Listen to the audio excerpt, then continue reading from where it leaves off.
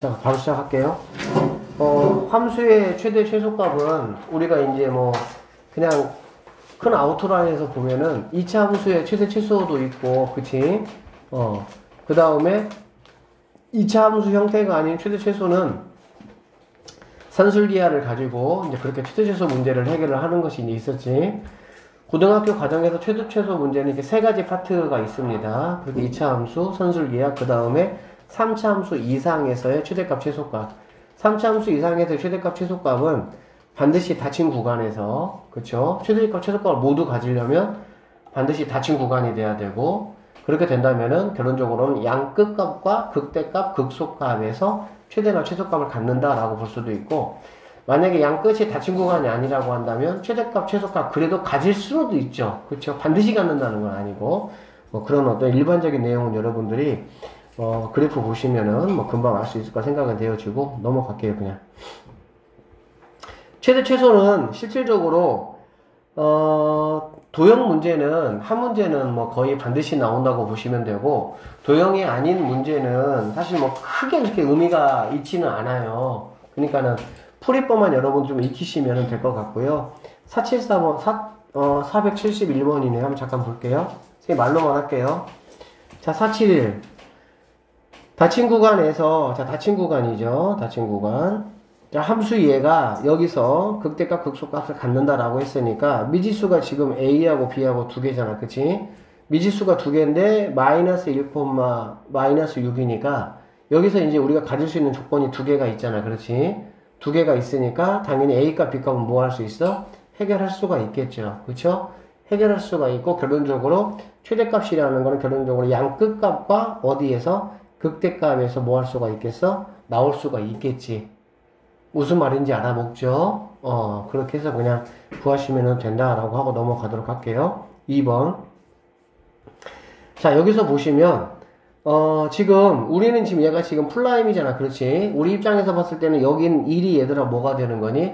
변곡점이 되는 거 알 수가 있죠. 그래, 안 그래? 변곡점이니까 여기는 2를 이용해서 누구는 구할 수가 있겠어? A는 구할 수가 있겠지. 이해되십니까? 두 번 미분한 x값이 바로 뭐가 되는 거야? 1이 되게 하는 a를 구하면 되는 거니까. 그렇게 해서 이제 a를 우리가 만약 구했다고 친다면 여기 있는 2를 이용해서 이제 뭐 할 수가 있겠어? 구할 수가 있겠지. 그래 안 그래? 그치? 여기 있는 2는 지금 바로 뭐니? 뭐 prime 값이 2가 되는 거니까 뭐 극소값이고 어쨌든 f prime 2가 0이 된다 해서 조건 하나는 어쨌든 내가 구할 수가 있고 그 다음에 문제에서는 fx의 극대값이 지금 5라고 했잖아. 그래, 안 그래? 그럼 극대값은 니네 알다시피 내려가는 쪽이 극대값이죠. 그러니까는 f prime 0에서 극대값을 갖는다라고 볼 수가 있겠지. 그치? 그러면 f prime 0 equal 0, 그 다음에 f0은 5. 다시 한번 정리하면 f 0은 5가 되고 c가 5네요, 바로. f prime 0은 0, f prime 2도 0 이렇게 뭐 세 가지 조건 이용하면은 A, B, C는 뭐 간단하게 해결될 수가 있긴 하겠네. 그쵸? 어, 물론 여기다가 우리는 F double prime 1이 0이 된다는 걸 이용해가지고도 뭐 구할 수 있고 A 값 구할 수도 있는 것이고 어, 이 정도로 보시면 되겠네요. 그러고 한 다음에 뭐 최대값 구하라고 했으니까 이거는 뭐 단순한 그냥 계산 문제입니다. 이 정도 하고 넘어가도 되겠죠? 자, 그 다음에 472번 문제 볼게요. 닫힌 구간에서 fx의 절대값의 최대값과 최소값을 large mn이라고 했는데 자 여기 있는 거 우리가 이제 뭐 어쨌든 미지수가 없으니까 절대값 안에 있는 함수는 충분히 구할 수가 있습니까? 없습니까? 구할 수가 있겠죠. 그렇죠 여기 지금 미지수가 없으니까 함수 뭐 여러분들이 그래프 그리는 건 충분히 그릴 수 있으니까. 맞지 그러면은 어쨌든 뭐 최대값 최소값은 최소값은 당연히 뭐 안 봐도 비디오다 그치 꺾어 올린 거잖아 꺾어 올렸으면 최소값은 당연히 얼마가 되겠어? 최소값은 0이겠지 뭐 아닌가요? 최소값을 왜 물어봤는지 모르겠다 그치? 아니 이렇게 그래프가 있으면 꺾어 올렸잖아 꺾어 올리면 최소값은 당연히 0이겠지 그쵸? 그리고 최대값은 어쨌든 뭐 극대극소에서 나오는 값 값과 양 끝값을 이용해서 계산하는 문제니까 어, 이 정도로 하고 넘어가도록 하겠습니다. 괜찮죠? 네, 다음 문제 볼게요. 2번.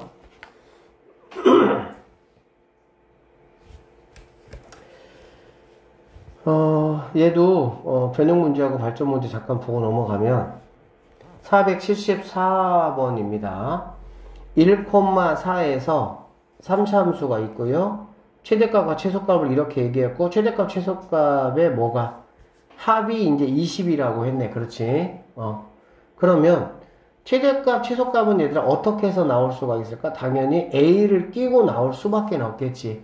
어. 뭐 쉽게 말하면 F1 구해 보시고 F4 구해 보시고 그 다음에 극대극소는 사실은 뭐 A하고는 아무 상관이 없잖아. 그치?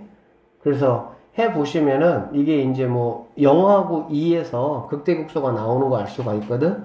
0하고 2에서 나오는데 0은 여기 안 들어가잖아. 안 들어가니까 F2. 자, 이렇게 세 개의 값을 하면은 여기에 F1이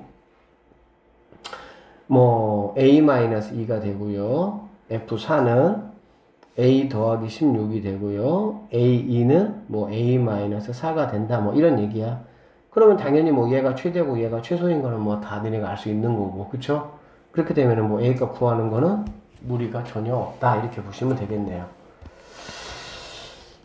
얘도 뭐 기본 문제죠. 그냥. 그쵸? 금방 충분히 읽히죠? 자, 다음 문제. 이거의 최소값이 마이너스 10이다. 최대값을 한번 구해봐라. 라고 얘기를 했습니다. 그렇죠? 그러면 다시 한번 얘기하지만 최소값이나 최대값은 누구하고는 상관이 없습니까? 상성하고는 상관이 없어요. 어. 그리고 이제 여기냐면은 최대값 최소값은 양 끝값하고 누구 극대 극소에서 나오는 거잖아. 그래 안 그래? 근데 극대 극소의 x값을 구하는 데 있어서 상수항은 의미가 없지. 왜 한 번 미분을 하게 되면 상수항 어차피 의미가 없어지니까.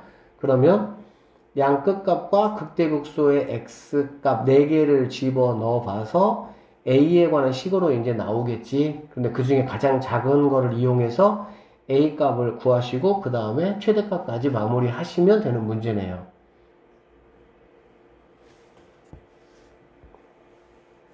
자, 475번. 이따가 뒤쪽에 조금 설명할 게 있어가지고 거기는 좀 자세히 해줄게. 양수 A에 대해서 자, 얘가 닫힌 구간 이렇게 된다라고 얘기를 했네. 최대값을 M, 최소값을 27분의 14라고 했다. A 더하기 M. 사실 얘도 지금 이제 우리 입장이 약간 어떤 입장이냐면 미지수가 좀 뭔가 사실 미지수는 하나야 그치? 미지수는 하나고. 근데 이제 그 미지수가 뭐 여러 군데 쓰이다 보니까 느낌이 살짝 조금 뭐 쉐한 느낌이지 결국에는 조건 나에게 최소값이 27분의 14라고 나에게 줬으니까 풀던 방식 그대로 그냥 풀어버리시면 되는데.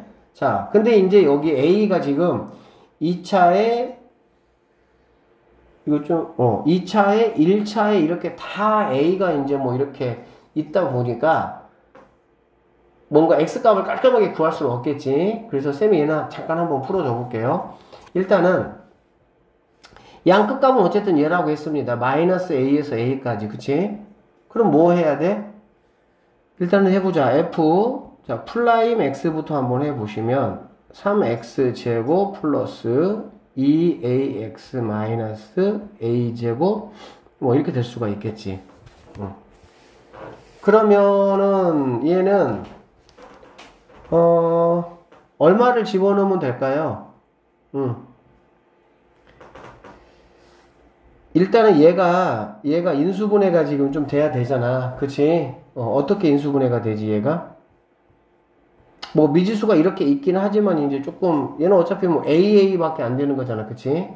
얘는 그리고 3X하고 X로 봐야 될 것이고 그러면 3X 보시고 자 X 보시고 그러면 얘가 이제 플러스 2A가 돼야 되니까 여기가 이제 플러스 A 이렇게 돼야 될 것이고 여기가 이제 마이너스 A 이렇게 돼야 되겠지. 그치? 음. 그러면 뭐 X는 3분의 A하고 X는 마이너스 A 이렇게 될 수가 있겠네. 자, 그러면 여기서 얘들아 닫힌 구간에서 마이너스 a부터 a까지라고 했잖아. 그래 안 그래? 그럼 이 말 자체가 의미하는 거는 a는 일단 양수라는 의미겠지. 아, 양수이라고 써 있네. 어, 그치? 어, 우리가 이제 어떤 구간 표시할 때 작은 거에서 큰 거를 표시하잖아. 그래 안 그래? 그치? 작은 거에서 큰 거를 표시하는데 마이너스 a부터 a까지니까 a가 만약에 음수라면 당연히 양수, 음수 이렇게 되는 거잖아요. 그러니까 안 되겠지. 그러니까 A는 양수야. 맞죠? 그러면 A가 이제 양수니까 얘가 그러면 음수가 되고 얘는 그대로 양수가 된다라는 걸알 수가 있겠지. 그리고 이쪽에서 극대 극소를 갖는 거고 그래서 그래프를 선생님 이렇게 한번 그려보면 여기 있는 친구가 바로 뭐가 된다는 얘기야? x 이퀄 마이너스 a가 된다라고 볼 수가 있겠네요. 그 다음에 여기가 바로 뭐가 되냐면은 3분의 a가 된다 이렇게 볼 수가 있겠지. 됐어요? 자, 지금 마이너스 a부터 a까지라고 했잖아요. 그러면 a가 도대체 이제 어디일까냐라는 것만 여러분들이 체크를 좀 하시면 되는데 자, 우리는 이미 뭘 배웠어, 얘들아? 어, 비례를 배웠잖아, 그치? 그래서 얘를 그냥 굳이 이렇게 한번 우리가 한번 해보시면 여기서 여기까지 하시면 얼마예요? 3분의 4죠. 3분의 4면 여기까지가 뭐가 돼야 돼? 3분의 2가 돼야 되겠지. 그래야 1대 2일 거 아니야. 비례관계. 그쵸? 그럼 자연스럽게 여기가 x 이퀄 a라는 뭐 할 수 있어? 알 수가 있겠지. 되겠어요? 어.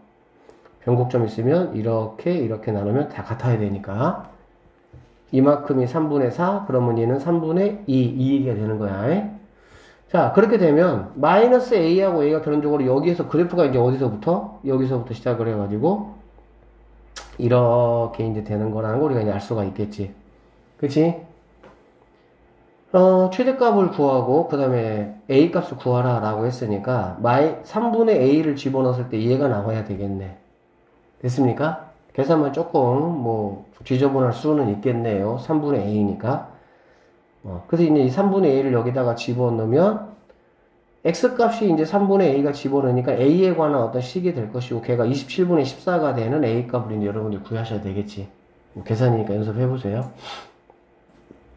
그렇게 구하면 a 값은 2가 나옵니다.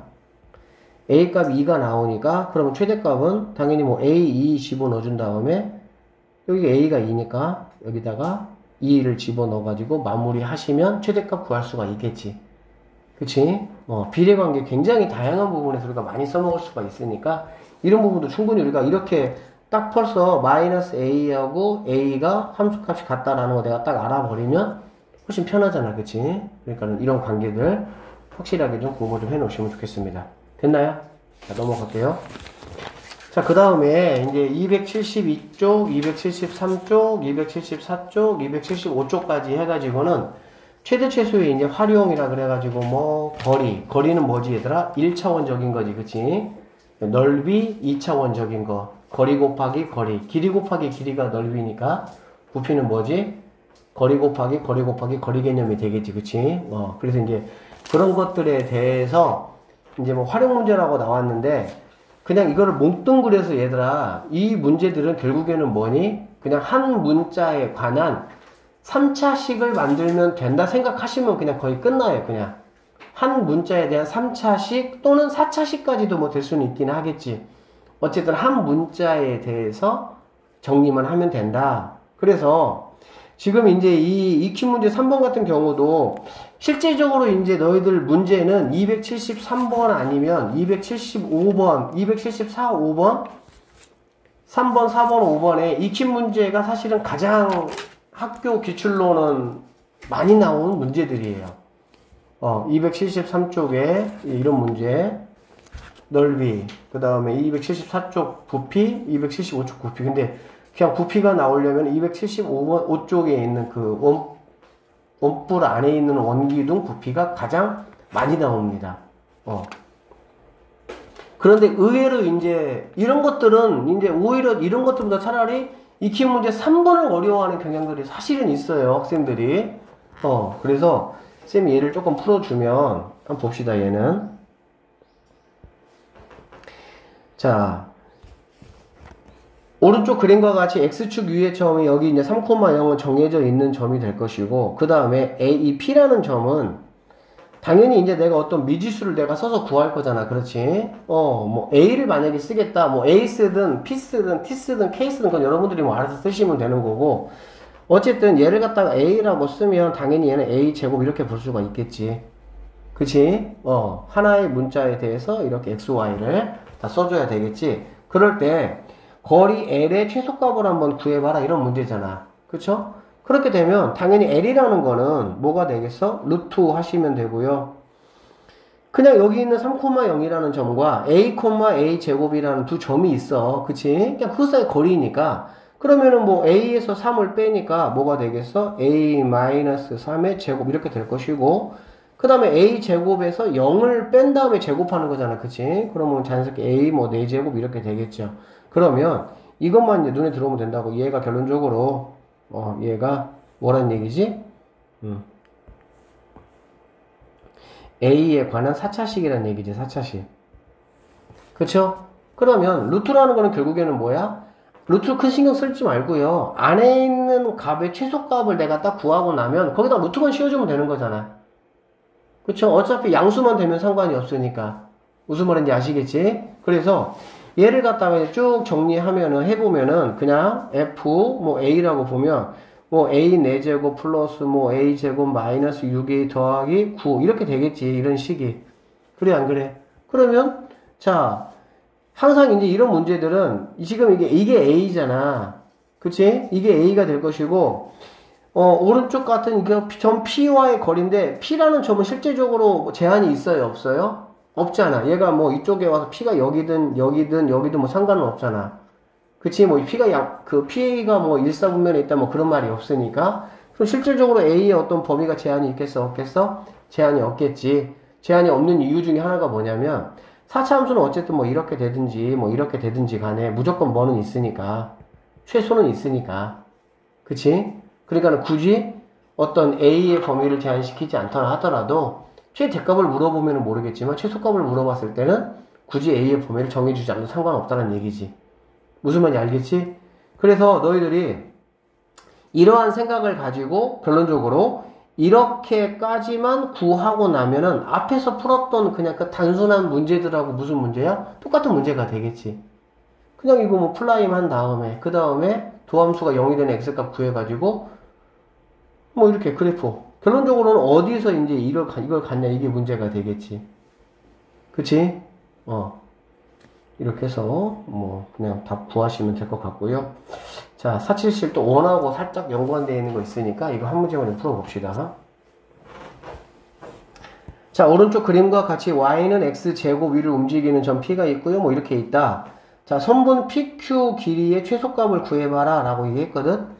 어, 니네 예전에 이런 거 기억나니 얘들아? 원이 이렇게 있어. 그치? 원이 이렇게 있고 어떤 그 점이 이렇게 있다고 한번 해보자. 이 점.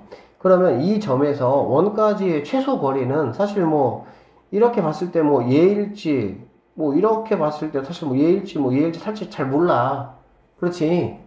그래서 우리가 이제 어떤 아이디어를 가지고 우리가 이런 문제를 구했냐면은 원의 중심하고 여기서 여기까지의 거리를 구한 거지. 이 거리를 우리가 L이라고 만약에 한다면 여기에서 뭐를 뺐어? R을 뺀 거지. 그래 안 그래? 그래 버리면은 어쨌든 이 길이에서 R을 뺀 어쨌든 간에 여기를 만났을 때 이 친구가 뭐가 되겠어? 최소한의 거리가 된다라고 볼 수가 있겠죠. 그렇죠? 그리고 최대의 길이는 당연히 뭐가 되는 거야? L에다가 여기 있는 R을 더한 값이 바로 뭐가 돼? 최대의 길이가 된다라고 했었던 기억이 어렴풋이 있겠죠. 있죠? 어. 그러니까 뭐 이 내용을 그냥 똑같이 뭐 하는 것 뿐이야? 이용한다라고 보시면 되는 거야. 그래서 나는 어떻게 할 거냐면 자, 지금 이제 여기 있는 이 익히 문제하고, 익히 문제하고 이 문제하고 똑같아요. 근데 얘는 다, 다, 얘는 다만 원만 좀 등장을 시켜가지고, 아까 우리가 그 부분만 조금 더뭐한것 뿐이야? 조금 더 이제 이렇게 까딱스럽게 그렇게 한 것 뿐이지. 그럼 당연히 우리는 뭐 해야 되겠어? P라는 점을 똑같이 어떻게 놓습니까? 어, A, 이제 A 제곱이라고 놓으면 되겠죠. 이렇게 놓고 얘는 뭐 3,0이니까. 그치? 그럼 우리가 아까 했던 것처럼 얘를 갖다가 당장 Q라는 점을 갖다가 내가 얼마나인지를 모르기 때문에 얘를 신경 쓸 게 아니라 얘를 그냥 우리가 이제 R이 R이라고 한번 해보면 R은 3,0이 되겠지. 이해되겠죠? 그러면 나는 PQ 길이의 최소값은 어떻게 구하겠다는 얘기야? PR의 미니멈에서 그렇지 반지름을 뺀 걸로 나는 뭐 하겠다? 구하겠다 이런 얘기가 되겠지. 이해되셨죠? 그러면 결론적으로 PQ의 길이를 나는 구하는 게 아니고 PR의 길이를 내가 지금 뭐 하는 거야? 구한다 라고 생각을 하시면 되겠네요. 그리고 PR의 길이를 구하는 거는 위에서 구한 문제하고 전혀 뭐 다를 게 없는 문제가 되겠지. 이해되겠어요? 어, 그래서 그렇게 이제 뭐만 조심해 주면 돼? 그렇게 해서 이제 뭔가를 구했다라고 한다면 거기서 이제 반지름이 지금 얼마니? 이게 반지름 제곱인 거는 다 기억나시죠? 어, 그럼 반지름 1이잖아. 그러니까 답도 뭐 이런 식으로 이렇게 나왔네요. 어. 그러니까 이해가 루트 5인 거 보지. 그치? 그래서 반지름을 뺀 이게 바로 뭐가 된다? 최소가 된다. 이렇게 볼 수가 있겠네. 됐어요? 어, 그 차이점만 여러분들이 조금 인식하시면 똑같은 문제야. 근데 의외로 이런 걸 상당히 조금 더 이렇게 불편하게 생각을 해요. 여러분들 실제로. 그렇죠? 선생님 방금 설명해준 그 원, 어쨌든 위에 있는 점하고의 최대 최소값. 그렇게 마무리 하시면 되겠습니다. 자, 478번 문제 한번 보면 0,0이 있고 10,0이 있는 두 점이 이렇게 있습니다. 자, 점 P가 이거 위를 움직일 때 뭐 이렇게 최소값을 구하라 라고 했는데 이거는 그냥 뭐니 얘들아?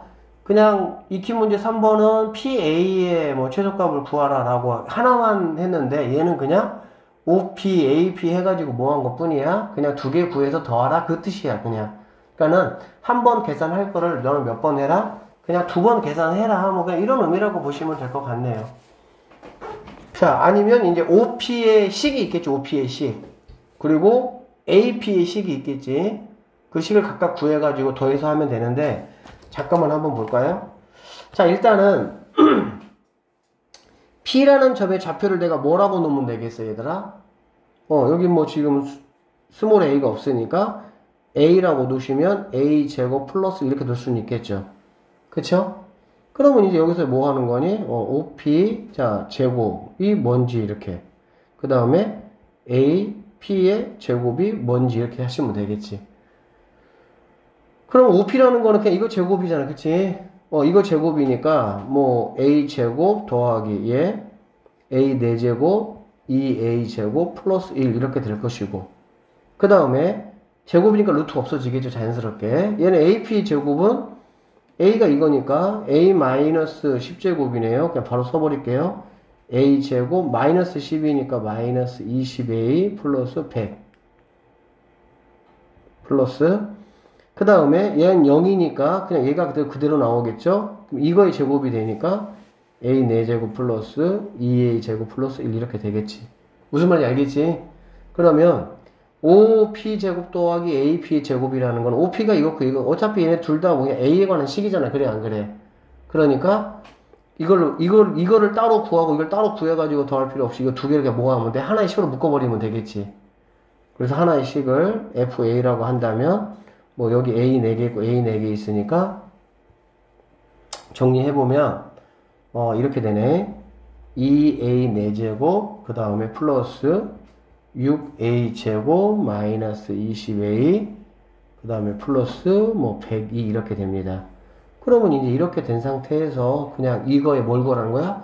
최소값을 구하라는 말이잖아요 그러면 이 다음부터는 prime 값 구해가지고 이해되시죠? 4차 함수니까는 뭐 이런 식의 상황이 될 거야 그러면 여기에서의 이제 prime이 0이 되는 A 값을 빨리 구하셔가지고 그 친구만 대입해주면 되는데 이제 F1이 어, 답이 되고요. 1 넣어보면은 뭐 90이라는 답이 나올 수 있는 그런 문제입니다.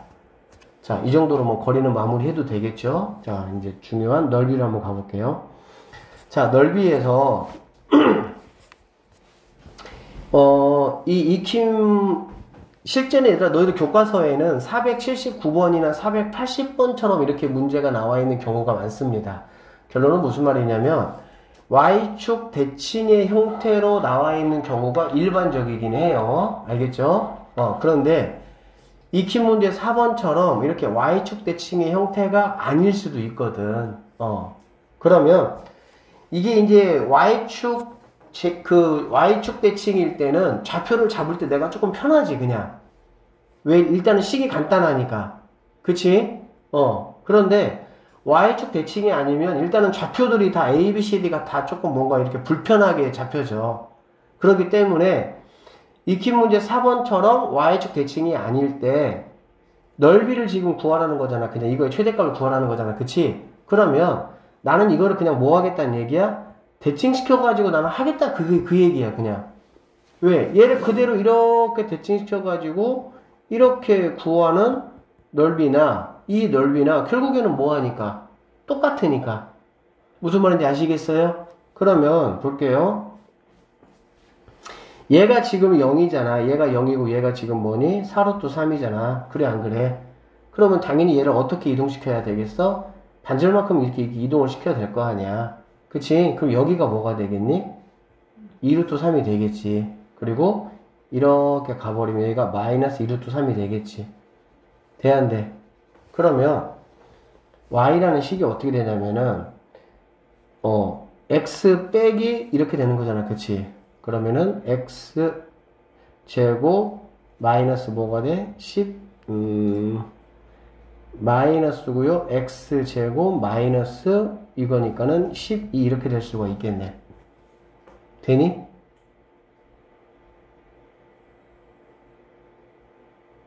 어? 이렇게 되지? 아니, 이게 근이잖아, 근. 그래, 안 그래? 그리고 y축 대칭이니까 1차가 없는 거고. 아니면 이렇게 마이너스 하고, 이게 근이니까 x 마이너스 1루트 3, x 플러스 뭐 이렇게 하시면 되지 뭐.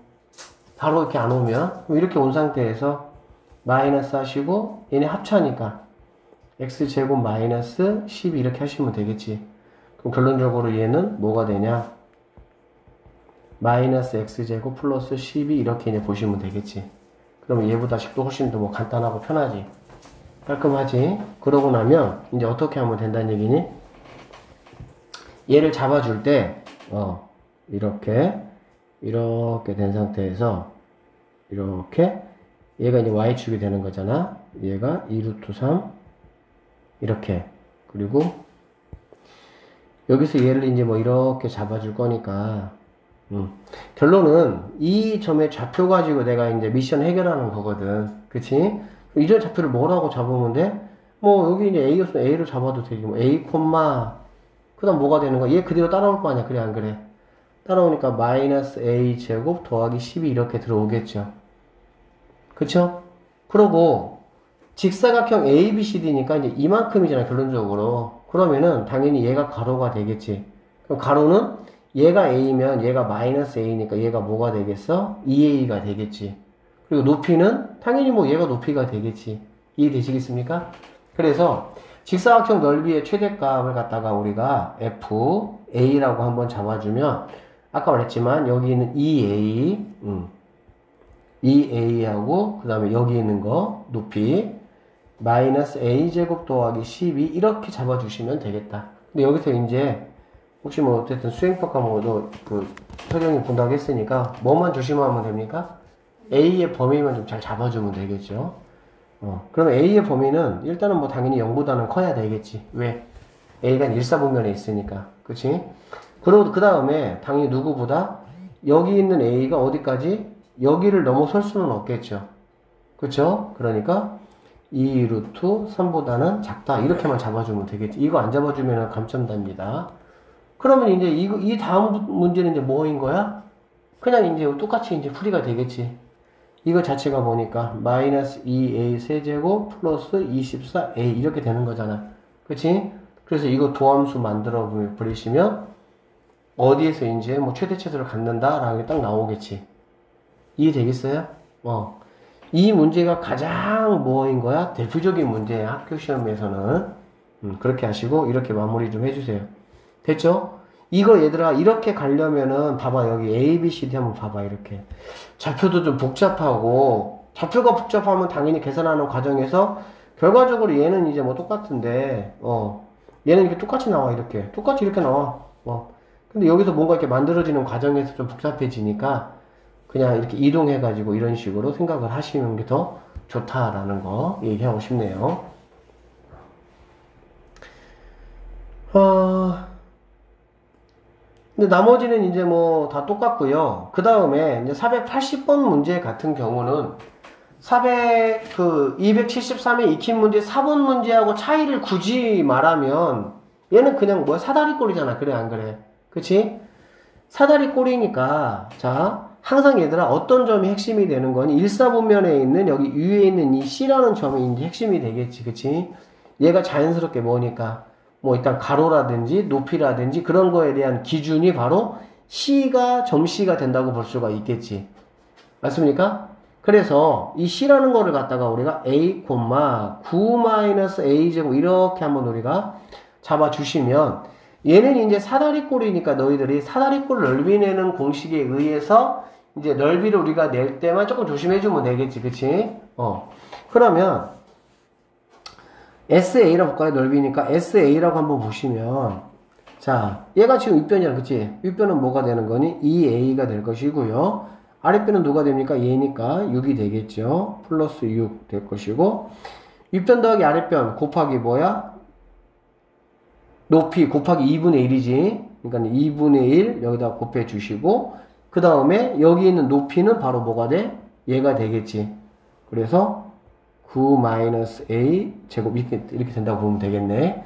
그러면 이제 뭐 얘 2분의 1하고 이렇게 약분하면 얘는 a 더하기 3 이렇게 되니까 a 더하기 3과 이거를 곱하시면은 a에 관한 3차식이 나오겠지. 그치? 식만 만들어내면 나머지 계산하는 방법은 그냥 동일합니다. 아시겠죠? 어. 그래서 이것도 여러분들 직접 다 손으로 몇 번씩은 풀어봐야 되는 문제들이니까 꼭 열심히 풀어보세요. 음. 자, 481번 문제. 481번 문제는 이제 480번까지 문제하고는 조금 차원은 다른 그냥 아예 뭐 모의고사 성 문제입니다. 그냥 참고하시고요. 어쨌든 뭐 이런 문제들도 이렇게 풀면 된다라는 생각만 좀 한번 가지시면 될 것 같아. 내신성 문제는 특히 이제 여기 여러분들 광주 강남 정도는 이런 문제는 뭐 안 나올 것 같긴 한데 한번 봅시다. 자 오른쪽 그림과 같이 이렇게 어 이렇게 고정된 이제 점들이 있습니다. 0,0, 8,0, 8,8, 0,8 이렇게 고정되어 있죠. 음. 여기서도 얘들아 A를 갖다가 우리가 어떻게 해줘야 돼? A를 갖다가 이렇게 범위는 어 A를 0에서부터 얘보다는 클 수는 없겠지 그치? 어3 안쪽으로 와야 되겠지 어, 이거 꼭 해주셔야 돼요 이거 A 범위 자 이렇게 고정되어 있는 점이 있고요 그 다음에 정사각형입니다 어, 내변의 좌표축과 평행한 정사각형이 있는데요. 이 PQRS가 있다. 자, 얘가 마이너스 1, 마이너스 6을, 자, 어쨌든 얘가 마이너스 1, 마이너스 6인가 봐. 얘를 출발하여 포물선 이거를 따라서 정사각형 이쪽으로 평행 이동시킨다는 얘기지. 음. 이 말은 무슨 말이냐면, 얘를 따라서 움직인다라는 말은 뭐냐면, P라는 점이 이거 위에 있다 그 뜻이에요 지금 그러니까는 P가 여기 있을 때는 얘하고 똑같은 크기 즉 8, 8 이렇게 되는 친구들이 이렇게 만들어지는 거고 P가 만약에 여기 있다라고 하면 어 이렇게 이렇게 8, 8 이렇게 만들어진다. 뭐 이런 얘기가 되겠지. 무슨 뜻인지 아시겠죠? P가 만약에 이쪽으로 왔다 그러면은 똑같이 이렇게 8, 8 이런 식으로 이렇게 만들어진다라고 보면 되겠지. 그러니까 여기 있는 이 P의 이 P의 위치에 따라서 걔를 오른쪽 위쪽에 그 꼭지점으로 해서 정사각형이 만들어진다 이렇게 보시면 되겠지 됐습니까? 자 그랬을 때 문제는 이거죠 그 여기에는 이제 PQRS하고 그 다음에 OABC가 있는데 자, 얘하고 얘가 겹쳐지는 부분이 당연히 생기겠지. 자, 우리가 이제 얘가 약간 했지만은 뭐 얘가 이렇게 만약에 간다라고 하면 이 부분이 겹쳐지겠지. 그래, 안 그래? 그리고, 어, 또, 만약에 이렇게, 이렇게 간다라고 하면 이 부분이 겹쳐질 것이고. 뭐, 그쵸? 자, 어쨌든 간에 겹쳐질 거야. 근데 겹쳐지는 부분의 최대값을 한번 이제 이거라고 할 때 이거 한번 구해보자. 그런 얘기거든. 또 뭔가, 문제는 뭔가 막 되게 있어 보이고 되게 막 어려운 느낌의 사실은 문제인 거는 맞아요. 그쵸? 근데 생각을 한번 해보시면, 자, 어쨌든 이제 이 P라는 점이 여기 있던 점이 어떻게 된다는 얘기야? 움직이겠다는 얘기잖아. 그래서 그냥 뭐 여기라고 생각을 한번 해보자고. 그러면 이런 식의, 이런 식의 만들어질 거 아니야. 그래, 안 그래? 그럼 겹쳐지는 부분은 어디가 되죠? 이 부분이 이제 겹쳐지는 부분이 된다라고 우리는 알 수가 있겠죠. 그쵸? 그러면 이 겹쳐지는 부분의 넓이라는 거는 결론적으로 뭐하고 똑같다는 얘기니 얘들아? 여기 있는 이 P라는 점에 가지고 그냥 구할 수 있는 거지 그냥 생각을 해봐 얘가 지금 얘, 얘가 지금 0,0이잖아 그래 안 그래 그럼 P라는 점은 자연스럽게 어떻게 되냐면 A, 하시면 마이너스 a제곱 플러스 5a 이렇게 될 거 아니야. 맞지? 그러면 여기 있는 이 가로가 이 가로 얘가 얘가 뭐겠냐고 얘가 뭐 a지 그럼 이 세로가 바로 뭐겠냐고 그냥 얘가 되겠지 뭐 그냥 됐어요? 어 그래서 SA라는 거는 두 개를 더한 거니까 마이너스 A 세제곱 플러스 5A 제곱 이게 바로 SA가 된다라고 보시면 되겠네. 다만 이제 여, 기서 A의 이제 범위는 당연히 0보다 커야 될 것이고 생각을 해보시면 A가 어디를 자 여기 있는 이 P라는 점이 여기서 이렇게, 이렇게 이제 만들어지는 상황이 되면 겹치는 부분이 있어요 없어요? 당연히 없죠. 그러니까는 x 값이 여기에서부터 여기까지 일 때까지는 겹쳐지는 부분이 있겠지. 얘가 이제 계속 이렇게 이렇게 움직이면서 이렇게 움직이니까 이렇게 이렇게 움직일 거니까 이렇게 움직이니까 됐지? 그러다가 이 점을 벗어나면서부터 이 점에 이제 p 값이 딱 달 때부터는 뭐가 되겠어? 겹치는 부분이 없겠지? 그럼 이 점이 이제 얼마냐 라는 건데 이 점은 뭐 여기 딱 보면 0,5잖아. 그치? 어, x절편이니까 얘가 바로 5다라고 볼 수가 있겠죠? 그러면 이제 A의 범위가 0부터 어디까지? 5까지다 이렇게 생각을 하시면 되겠습니다. 그리고 이거를 가지고 이제 뭐 하시면 돼? 계산 마무리 하시면 되는 문제야. 알겠어? 어. 근데 이런 문제들이 설명을 들으면 별거 아니게 느껴지는데 막상 생각하려면 어렵게 느껴지는데 그냥 그려보면 돼. 자 봐봐. 만약에 이 점에 있다고 하면 얘들아 이렇게 그려질 거 아니야. 이렇게 이렇게 이렇게 이렇게. 그치? 그럼 어차피 겹쳐지는 부분이 이 부분이 될 거 아니야, 이 부분. 이 부분이 되고, 그러면 이 부분의 넓이는 결론적으로 여기 있는 함수 값을 우리가 알면, 그치, 얘가 마찬가지 또 a, 이제 뭐 어쨌든 이렇게 가면은, 이 가로 길이는 a가, 얘가 되는 거고, 무조건. 이 높이는 뭐가 되는 거야? 얘가 되는 거 아니야. 맞죠? 어, 그러니까 결론적으로 이렇게 나올 수밖에 없다. 이렇게 보시면 되고, 이것만 여러분들이 조금 더 착안해 주시면 되겠네. 됐습니까? 뭐 지금 계속 275초까지 얘들아 계속 똑같은 얘기 계속 하는 거야. 에?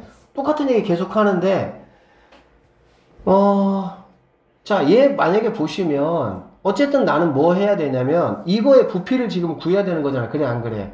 그리고 이거 뭐 이렇게 양쪽 접어 가지고 이렇게 올리는 거 니네가 다 아는 거고 결론적으로 여기를 갖다가 우리가 이제 뭐 x라고 한번 놔보면 당연히 얘도 이제 x가 될 것이고 맞죠? 됐어요? 그러면은 당연히 이 밑바닥의 넓이 곱하기 뭐 높이 이렇게 될 수가 있겠지 그치? 그 윗, 밑바닥이라는 거는 얘는 뭐가 되냐 A에서 뭐를 빼는 거야? 여기 X 하나 있고 또 이쪽에 뭐가 있어? X가 하나 있잖아 그래 안 그래?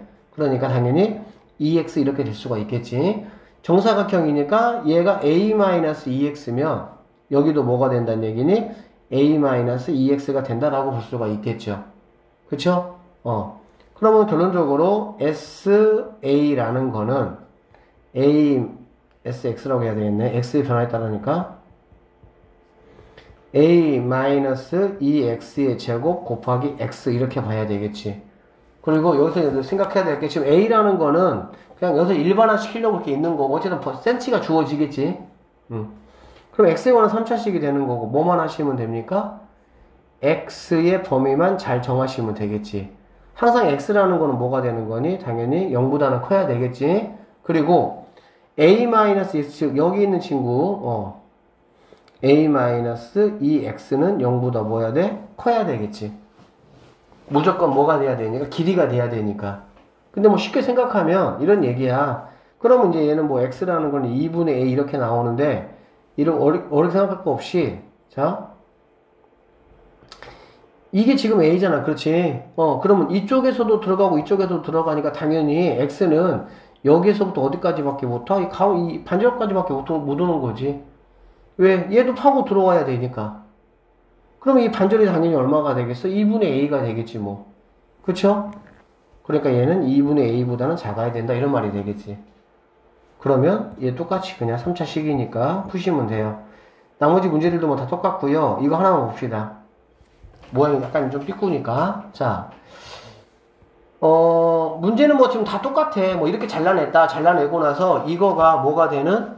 부피가 이제 최대가 되는 걸 구해봐라. 지금 그 말이고. 부피는 얘는 이제 지금 뭡니까? 정삼각형이잖아. 그치? 정삼각형이면 일단은 뭐 이 한 각이 60도라는 건 너희들 충분히 이제 아실 것이고, 그쵸? 자, 어쨌든 나는 얘를 갖다가 뭐 할까? 얘를 갖다가, 얘를 갖다 x라고 이렇게 놓을 거 아니야. 이렇게. X라고. 자, 얘를 갖다가 x라고 놓으면, 결론적으로 뭐가 필요해? 부피를 구하기 위해서는 이 바닥면의 넓이를 구하고 거기다가 높이인 x만 곱하면 되는 거잖아. 그래, 안 그래? 그러면 얘가 x면, 어, 지금 이만큼이 a니까, 이만큼이 a니까, 당연히 얘를 x라고 놨을 때 이만큼하고 이만큼이 뭐 하겠어? a에서 빠지겠지. 그래, 안 그래? 그게 바로 이제 뭐 이 길이가 된다. 이 길이만 내가 뭐 하면 되는 거니? 확인하면 되는 거잖아. 그러면 뭐 생각하시면 돼요? 이게 무조건 얘들아 정삼각형, 직각삼각형 어쨌든 뭐 30도, 60도, 90도, 45도 이런 것들 나오면 무조건 피타 아저씨야 그냥 그치? 피타고라스 이용해보면 얘를 이렇게 잘라보시면은 얘가 지금 루트 x면 1대 루트 3대 2잖아 그렇지? 그러니까 얘는 뭐가 되겠어? 이 거리는 루트 3x가 된다라고 볼 수가 있겠지 괜찮아요? 어 그러면 얘도 루트 3x가 되니까 결론적으로 얘는 뭐가 되냐 a에서 2 루트 3x를 뺀 만큼이 된다라고 볼 수가 있겠네. 그쵸? 자, 그러면 한번 생각을 해봐, 얘들아. 지금 이렇게 놓는 게, 근데 이것만 고민하면 돼. 경지연, 자, 이런 식으로 놓, 놓으면, 자, 부피 어떻게 구하니, 부피. 자, vx 한번 구해보면, 부피는 이 삼각형의 넓이에다가 높이를 곱하는 거지. 그러면, 삼각, 정삼각형의 넓이 공식이 뭡니까? 다, 어?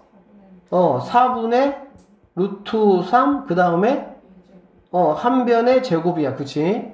그러니까는 얘가 그대로 여기 들어온다는 얘기야. 그리고 나서 여기다가 뭐 곱해지는 거? 높이니까 x가 곱해지겠지. 그래, 안 그래? 그러면 얘가 만약에 여기 들어오는 생각을 한번 해봐. 그럼 제곱해서 루트 안 벗, 없어, 안 없어지면 복잡할 거 아니야. 그래, 안 그래? 그치? 미지수를 내가 어떻게 잡느냐에 따라 가지고 답은 똑같이 나올 거야. 근데 식이 좀 복잡해지고 계산 과정이 복잡해지겠지. 그러니까 이렇게 놓을 건지 또는 자 볼게요. 어떻게 놓냐면은 어, 그 복잡해. 그러면 차라리 나는 얘가 루트가 들어가도 왜 얘는 그냥 여기에 곱해지는 거잖아. 그래 안 그래? 그러면 차라리 얘가 좀 단순한 게 좋겠다라는 생각할 수가 있겠지. 그러면 얘를 갖다가 뭐 얘를 갖다가 x라고 놓는 거지 그냥. 그러면 당연히 얘도 x가 이렇게 되겠죠. 맞습니까? 그러면 얘는 뭐가 되는 거니? a-2x 이렇게 되니까 4분의 루트 3 하시고 2 a-2x의 제곱 이렇게 될 거 되겠지. 그래 높이가 얘가 되잖아. 그래 안 그래? 여기서 이렇게 갔을 때 루트 3을 곱했잖아. 그렇지? 그러면 당연히 반대로 가면 루트 3으로 나누면 되겠죠? 그러면 루트 3분의 x 이렇게 되면 되겠네. 그럼 생각을 해봐. 1번하고 2번하고 어떤 게 편하겠느냐 생각을 해보면 당연히 얘가 그나마 조금 뭐 하겠어? 좀 더 낫겠지. 그치? 어, 그러니까 그 정도 그냥 여러분이 조금 차이만 조금 생각을 하시면 되고 계산을 하는 거는 뭐 사실 여기 루트 들어가서 뭔가 막 어쨌든 간에 얘가 만약에 뭐 이, 이 어떻게 어떻게 됐지?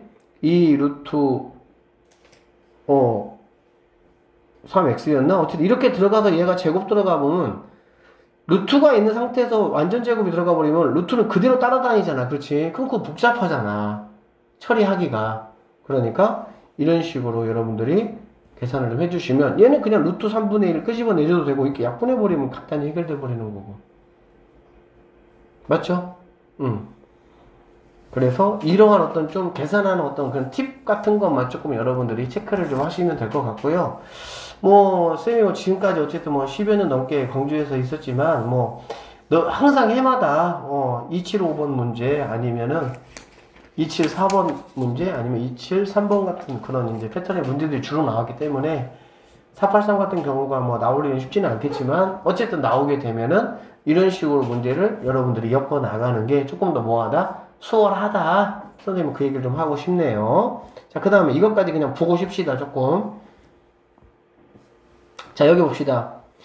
여기도 보면 이 활용의 포인트가 선생님 뭐, 뭐라 그랬어? 그냥 한 문자에 대해서 3차씩 만드는 게 그냥 포인트야. 그러면서 그 문자에 대한 뭐 잡아주는 거? 정의역 잡아주는 거. 그게 포인트고, 그 다음에 이제 뭐 미분해가지고 뭐 거기서 0되는 값 구해서 그게 이제 뭐 최대다라는 것을 구하는 과정은 뭐 계산을 여러분들이 뭐 다 익히 할 줄 아니까 그러면 얘 보자. 이 문제에서의 포인트는 뭐냐면 그 단순히 이거야. 뭐냐면은 자 지금 어 원기둥의 부피가 지금 최대잖아. 그래 안 그래? 원기둥이 지금 부피를 내가 지금 구하는 게 목적이죠. 그쵸? 맞죠? 어 그러면 얘들아 원기둥의 부피를 우리가 뭐로 해볼까요? 뭐 V, A라고 해보자. 그러면 원기둥의 부피 공식이 뭐야? 부피 공식이 뭐야? 밑면의 제곱 곱하기 높이 이렇게 되겠지. 맞죠? 어, 이게 이제 뭐 공식인 건 우리가 뭐 중1 때부터 다 배운 거 다 아는 내용이잖아. 그치? 항상 기둥은 뭐니? 밑면의 넓이 곱하기 높이 이게 이제 부피죠. 그쵸? 그러면 여기서 봐봐 얘들아. R이 있고 H가 있잖아. 그렇지? 어차피 뭐 파이는 그냥 숫자니까 수니까. 그러면 R하고 H를 뭘로만 통일해 주면 되는 거야? 하나의 문자로만 통일해 주면 돼 무조건. 쉽게 말하면 얘는 R에 관한 2차 얘는 H에 관한 1차이기 때문에 결론적으로 두 개를 곱해버리면 3차가 돼. 근데 이거를 갖다가 하나의 문자로 통일을 해줘라 지금 그 얘기야. 그래서 문제에 따라서는 얘들아 h를 r로 통일하는 경우도 있고요. 또는 r 제곱을 갖다가 h로 통일하는 경우도 있어요.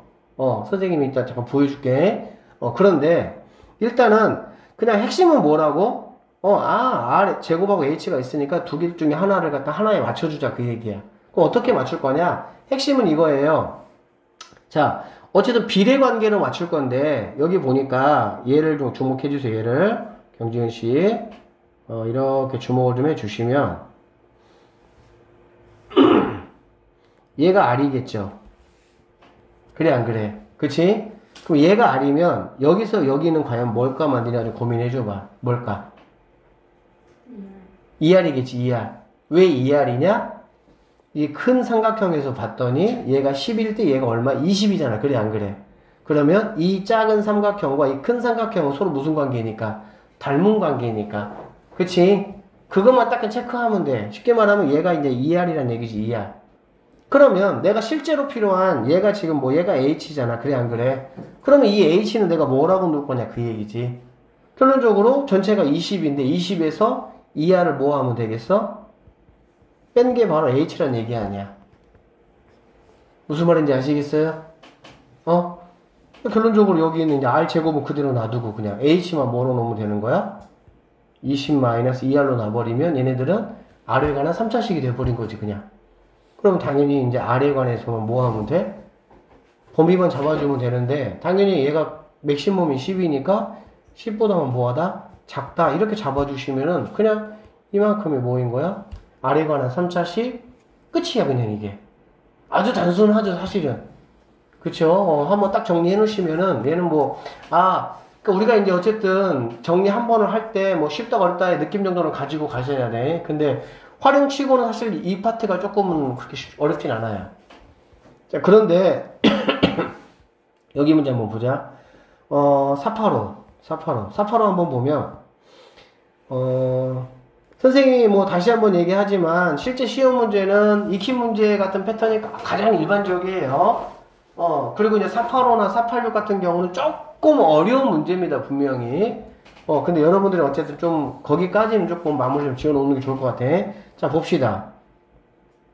자, 이 문제도 뭐냐면 얘들아, 원기둥의 부피가 최대라는 말이거든. 그치? 원기둥의 부피가 최대니까, 이거 부피 우리가 어떻게 구해? 당연히, 부피는, 뭐, V, 아, 아 어쨌든 V는 파이 r 제곱 곱하기 h 이거 아니야. 그래 안 그래? 그런데 우리가 조금 전에 이제 익힌 문제에서 봤던 원뿔 같은 경우는 비례 관계가 딱 되어 있으니까 아주 간단하죠. 그렇죠? 그런데 얘 같은 경우는 그렇지가 않아요. 그러면 내가 알 수 있는 거는 뭐냐면 지금 이게 이제 문제 읽어보시면은 구 안에 원 기둥이 이제 내접해 있는 상황이 되는 거잖아. 그치? 그러면 여기 있는 점에서 항상 뭐 도형에서의 기본 아이디어는 직각삼각형 만들 수 있어? 그러면은 피타. 이게 그냥 아주 기본이야. 항상 그냥. 항상.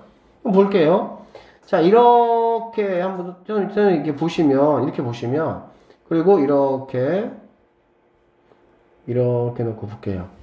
이렇게 놓고 보면, 얘들아, 여기서 핵심은 뭐라고? H를 갖다가 R로 바꿔 주든, 또는 R 제곱을 H 제곱에 관한 식으로 바꿔 주든 그냥 그것만 하면 돼. 뭘 바꿔주든지 상관은 없어. 근데 편한 거 해주면 되는 거야. 어. 근데 얘는 사실 뭐 높이를 좀 구하라는 문제잖아. 그치? 높이를 구하라는 문제니까 R이 필요한 게 H가 필요하겠죠.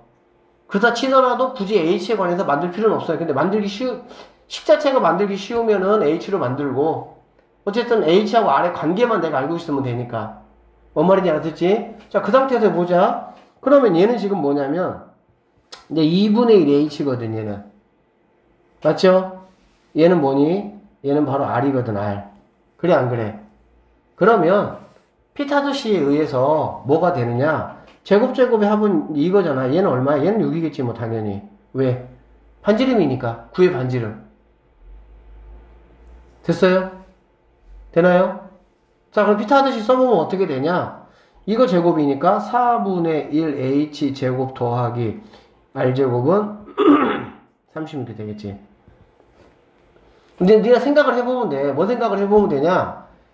h를 갖다가 r에 관한 식으로 나타내는 게 편한지 아니면 r 제곱을 갖다가 h에 관해서 나타내는 게 편한지 이건 네가 고민하면 돼 그냥. 그냥 문제 딱 씩 보고 나서 어 나는 뭐가 편하겠구나 그냥 고민하면 돼. 이건 당연히 뭐가 편하겠어 얘들아? r 제곱이 그냥 36 마이너스 4분의 1 h 제곱이잖아. 그래 안 그래? 그럼 당연히 여기는 r 제곱에다가 당연히 얘를 대입하는 게 훨씬 편하겠지. 이게 지금 그냥 높이를 구하는 거기 때문에 이렇게 하라는 게 아니야. 어떻게 하든지 상관은 없어. 왜 그러냐면 여기서 만약에 h를 갖다가 h를 갖다가 r에 관한 식으로 가기 위해서는 제곱도 떨궈내야 되고 그럼 풀마 루트 생길 것이고 막 루트가 생기겠잖아 필연적으로 무슨 말인지 알겠지? 그러니까 그렇게 굳이 갈 이유가 없다라는 얘기야. r제곱 대신에 h제곱식이 들어와도 되고요. H 대신에 r에 관한 식이 들어와도 상관없어. 한 문자에 대한 3차 식으로만 정리가 되면은 되는 거야, 그냥. 왜? 여기서 요구하는 거는 뭐야? 3차 함수 형태일 때 최대 최소 구하는 식을 만들어서 네가 써먹어라. 지금 그 얘기거든, 지금. 그러니까는 뭘로 해도 상관은 없는 거지. 알겠어요? 어, 그러니까 여기서 굳이 처음에 이제 우리가 막 그냥 뭔가 H를 R로만 바꾸다 보면 여기서도 이렇게 나왔을 때 뭔가 H를 갖다가 R로 바꾸, 대가, 바꿔야 돼서 그러니까 이런 짓거리 하지 말란 얘기야. 4분의 H 제곱은 36-R 제곱이 되고 4 곱하면은 뭐 H 제곱이라는 건 얘는 얼마니? 뭐 144니? 어 이렇게 되고 그럼 H라는 거는 풀만데 당연히 H가 높이니까 뭐 당연히 양수겠지. 뭐 이렇게 해서 여기는 h에다가 얘 대입해가지고 뭐 하겠다는 얘기냐고. 이거 뭐야 이거? 안 되잖아. 그리고 우리가 루트 있는 거 미분 해봤어? 안 해봤어. 못해 니네가. 그러니까 이렇게 접근하는 것 자체가 뭐인 거야? 잘못된 거지 그러니까, 그러니까 할 수 없게 된, 만든 거지 식을. 무조건 그냥 r제곱을 갖다가 이렇게 해버리면 얘가 들어와 버리면은 여기 r제곱 자리에 36-4분의 1 h제곱이 들어가니까 관한 3차식이 되니까 얘는 자연스럽게 그냥 뭐야? 3차 함수인 거야 그냥. 무슨 말인지 아시겠죠? 쌤이 얘기, 얘기하고자 하는 게. 그것만 여러분 지켜주시면 되겠습니다. 그래서 어, 이 문제도 당황하지 마시고 무조건 식은 어디서 나오는 거야? 식은 무조건 피타야. 식은 무조건. 알겠지? 어, 자 이것만 하고 가실게요. 자 여기도 마찬가지야. 어 원뿔의 높이 구하라 그랬네. 그래 안 그래 뭐일 때? 부피가 최대일 때, 부피가 최대일 때. 어, 부피 마찬가지죠? 3분의 1 파이 얼 제곱 h a r 제곱을 갖다가 h 제곱 꼴로 바꾸든 h를 r에 관한 1차 꼴로 바꾸든 어차피 3차가 만들어져야 되니까 어, 우린 다 이제 알고 있잖아 그치? 어 그렇게만 하면 되는 거고 그럼 나에게 주어진 식이 뭐냐 얘들아 피타를 쓴다는 것 자체는 결국에는 뭐야? r도 h도 제곱이 된다는 얘기거든 왜? 제곱을 써야 되니까. 피타 피타 그 피타고라스 정리는. 그치? 그러니까 그런 식으로 정리가 됐을 때는 무조건 r 제곱을 갖다가 이렇게 h의 제곱으로 정리해서 r 제곱 자리 그걸 대입한다 생각하면 되는 거야 그냥. 무슨 말인지 알겠어?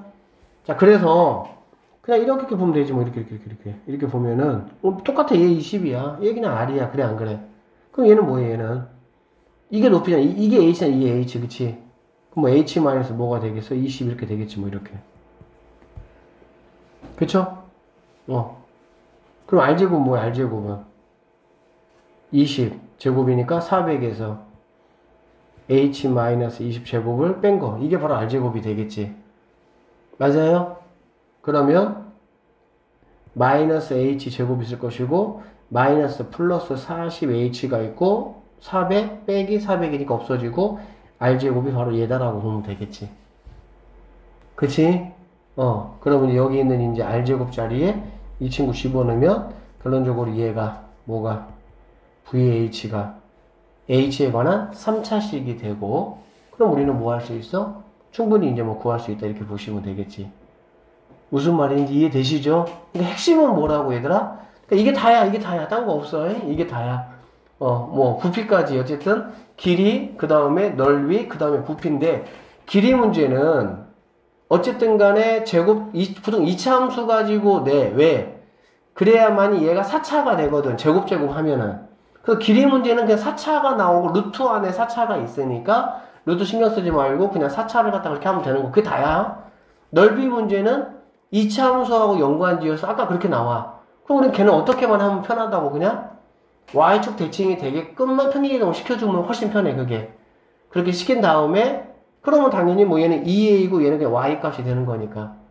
그러면 이 넓이 식 세우는 거 뭐 어렵지 않고 부피는 선생님 방금 말을 했던 말, 말했던 것처럼 이제 원뿔에 이제 그 원, 원뿔에 원기둥 들어가는 게 가장 기본적인 패턴이니까 그렇게 하시고. 근데 간혹 485번이나 486번처럼 이렇게 비례관계가 나와 있지 않을 때는 피타 아저씨를 이용해서 문제를 뭐 해야 된다? 풀어야 된다. 그럴 때는 h를 갖다가 뭔가 이렇게 r꼴로 바꾸는 게 아니라 r제곱을 h제곱꼴로 바꿔서 h의 값을 이용해서 문제를 뭐 한다? 풀이해 나간다. 이렇게까지 정리해 놓으시면 될 것 같습니다.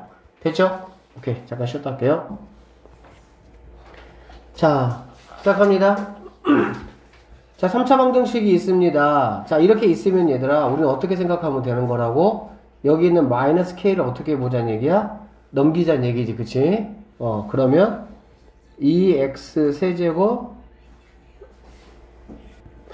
2x 세제곱 마이너스 3x 제곱 이걸 k 이렇게 되겠지 그래 안 그래 그러면 이렇게 되는 순간 좋았어 이 앞에 좀 보세요 어. 자 우리가 얘를 갖다가 이제 fx라고 놓으면 이제 이렇게 놓는 이제 목적이 뭐지 얘들아 미지수가 이제 없는 거지 그치 미지수가 없다는 얘기는 뭐 할 수가 있다는 얘기니 그래프를 그릴 수 있다 이런 얘기가 되겠죠 그죠 그러면 어쨌든 최고창이 양수니까 이렇게 그래프가 그려질 것이고 뭐 우리 많이 연습했잖아. K값에 따라서 다섯 개 형태가 나올 수가 있는 거야. 그치? 다섯 개 형태가 나올 수, 이제 그 교점 자체가. 그런데 얘는 뭐 세시근이라고 했으니까 당연히 여기 있는 극소하고 여기 있는 극대 사이를 지나가면 된다라고 보시면 되겠죠. 됐습니까? 어. 그 다음에 2번은 이중근과 하나의 실근. 이중근과 하나의 실근은 당연히 뭐란 얘기야? 여기 이렇게 극대, 이렇게 극소 이렇게 지나가는 게 이중근과 하나의 실근, 이중근과 하나의 실근. 보통 아는 얘기지. 그 다음에, 어, 서로 다른 두 양근과 하나의 음근인데, 이 서로 다른 두 양근과 음근은 무슨 말이냐면, 근자체가 양수냐 음수냐 그 얘기잖아. 그래, 안 그래? 그건 당연히 얘들 어디서 결정이 나는 거야? y절편이 얼마인지를 이제 보면 돼. y절편 얼마인지. 알겠어? y절편이 만약에 편의상 선생님이 y절편이 얘라고 한번 해볼게요. 이렇게. y절편 얘라고 하면 y절편을 중심으로 해서 어 이렇게 만약에 이렇게 이렇게 이렇게 된다라고 한다면은 뭐가 되겠습니까? 음근에서 두 개, 양근에서 하나 이렇게 되겠지. 이해되니?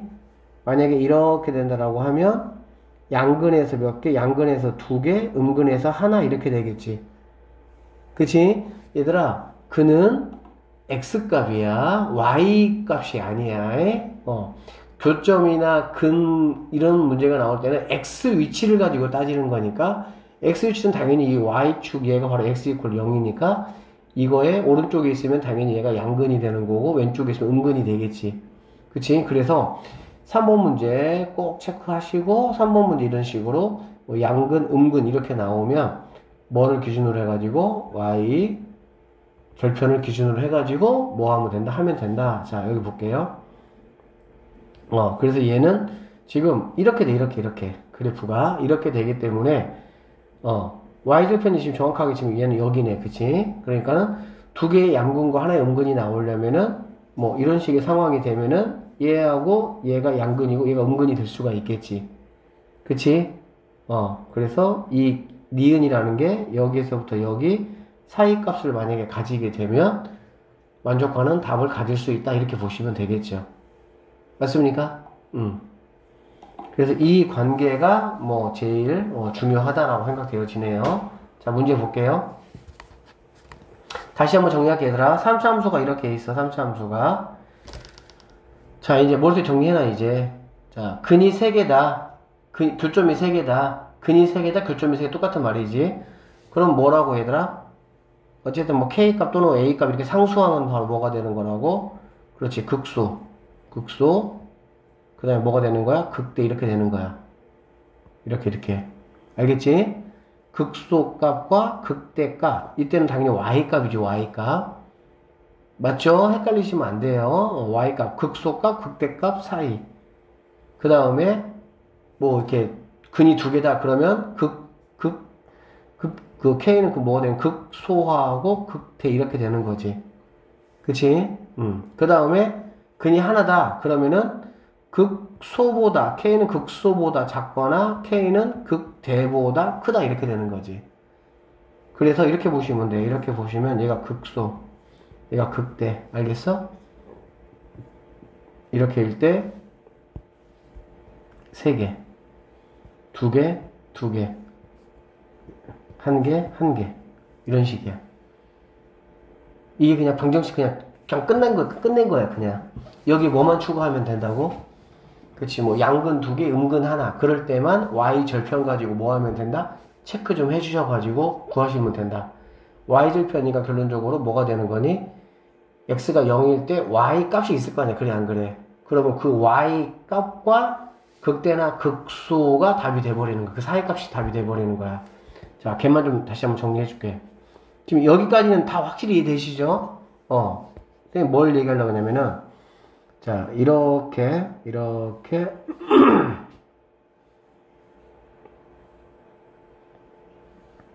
자, 이렇게 이제 된다라고 보면, 아니, 이건 아니고, 자, 이렇게, 이렇게 된다라고 보고, 얘를 갖다가 선생님 편의상 뭐 2라고 할게 얘를 5라고 하고 얘를 8이라고 할게 이해됐지? 어, 그려보니까 이렇게 그려졌어 이렇게 그러니까는 항상 우리는 극대값 확인하고 극소값 확인하고 y절편 확인하고 이렇게만 하면 끝나는 거야 이쪽 관련된 모든 문제들은 그래서 자 생각을 해보라고 자 이렇게 지나면 당연히 뭐가 되겠어? x 이퀄 0보다 이쪽에서 자 음수근이 몇 개? 두 개. 양수근이 하나 이렇게 되겠지. 그치? 그래서 음수근이 두 개, 양수근이 하나다 라고 하면 그럼 응? 어 뭐야 그렇게 돼버리면은 당연히 여기하고 여기 사이가 되겠지 이해되시죠? 어, 그러니까 극대하고 극소에서 y 절편으로 뭐 하는 거야? 답이 반절씩 나눠진다. 아니 이게 반절씩이 아니고 구분돼서 생각하면 되는 거야. 그러니까 이만큼의 구간은 뭐인 거야? 음근 두 개, 양근 하나. 그 다음에 이만큼의 구간은 뭐가 되는 거야?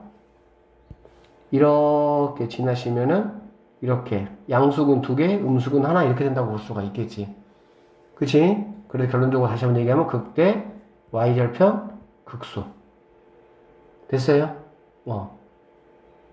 그래서 이런 식으로. 근데 이제 뭐 이게 어쨌든 뒤바뀔 수도 있으니까 그냥 딱 외울 건 없고 어쨌든 그래프 빨리 파악하시고 양근, 음근 그런 얘기가 없으면은 그냥 양 극대값 중심으로 해서 한 개, 두 개, 세 개 이렇게 보시면 되고 교점이 양근, 음근이 있으면 y 절편까지 좀 체크해 가지고 극대에서 y절편까지냐 또는 y절편에서 극소까지냐 둘 중에 하나가 뭐가 된다?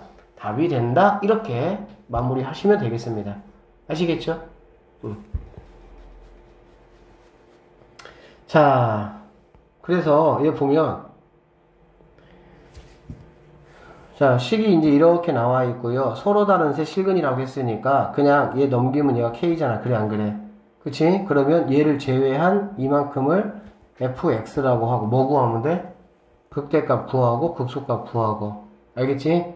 어.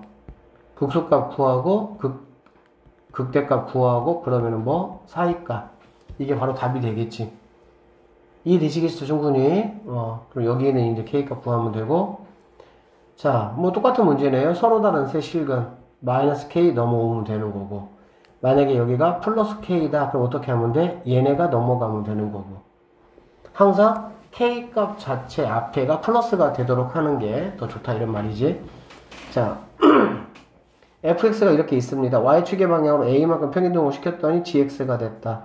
그럼 플러스 a가 되고 얘가 gx가 되겠지. 그래 안 그래? 그러면 서로 다른 두 서로 다른 두 실근이니까 뭐 하라는 거야? 극대하고 극소거란 얘기가 되겠지. 그러면 당연히 플러스 a니까 얘를 남겨놓고 이만큼 뭐 하는 거야? 넘겨준다라고 보시면 되겠죠. 이해되죠? 그럼 넘겨주면 마이너스 2x 세제곱 플러스 3x 제곱 플러스 12x 플러스 10 그치? 이거의 극대값 극소값 구하시면 그게 바로 뭐가 되는 거야? 답이 된다? 이렇게 보시면 되겠지. 사실 이쪽 파트는 우리가 지난번에 했던 파트들이 조금 난이도가 있고 문제가 나오더라도 거기도 고난이도 나오고 거기서 조금 생각을 하셔야 되고 그 다음에 접근해서 계산할 게 많기 때문에 이 최대 최소 그 다음에 뭐 방부등식 속도 가속도는 진짜로 1분 안에 다 풀 수 있어야 돼 그냥. 간단간단하니까. 그렇게 좀 연습해 놓으세요. 자 그 다음에 2번으로 넘어가서 볼게요. 똑같습니다. 1번하고 2번의 차이는 뭐냐면 1번하고 2번의 차이는 뭐냐면 그냥 이거야. 1번은 fx 그냥 하식 하나만 주고 끝트리에 뭐 k를 붙여놓은 거고 그래 안 그래? 여기는 fx하고 gx 두 개를 주고 둘 중에 하나에 k 붙여놓은 거지 그냥.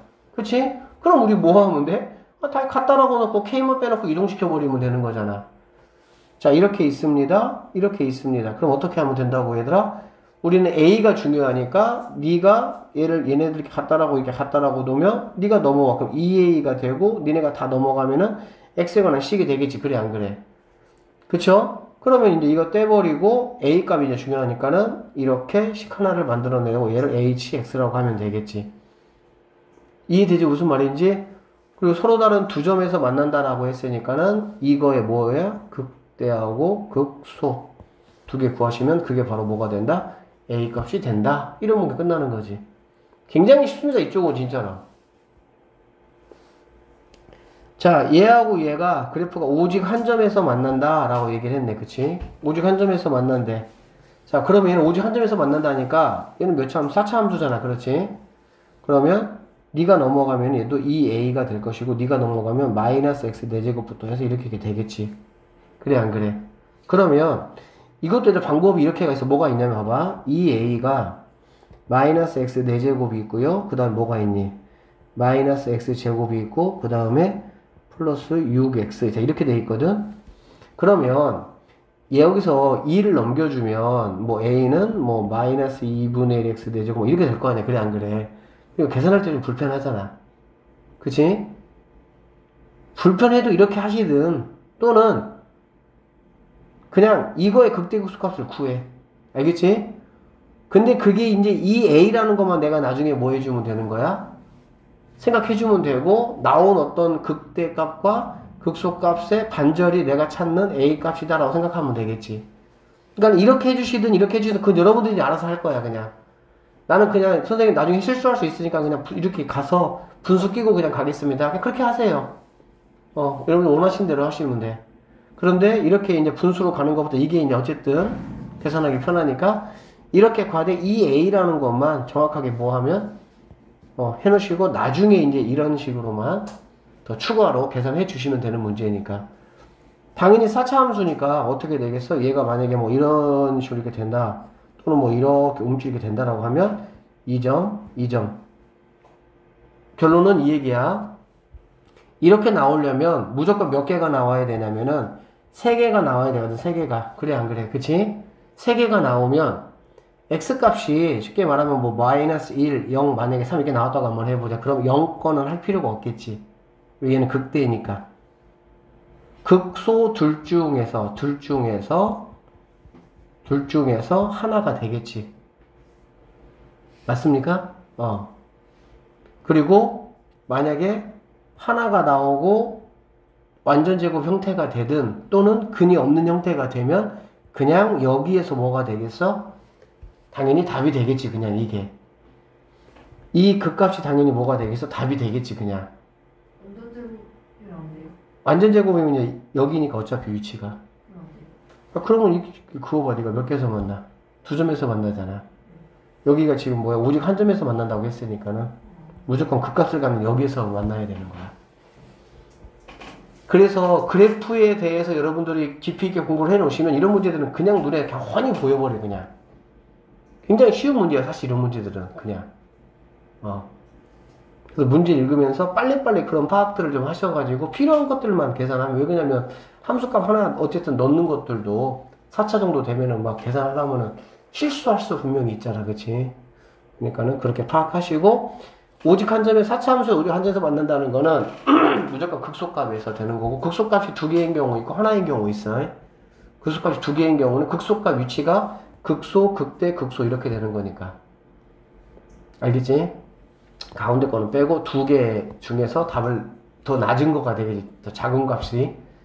어 이렇게 되면 당연히 한 점에서 못 만나니까. 이렇게 돼야 한 점에서 만날 수 있는 상황이 되니까. 그치? 그리고 극소가 만약에 하나 극점이 만약에 하나다.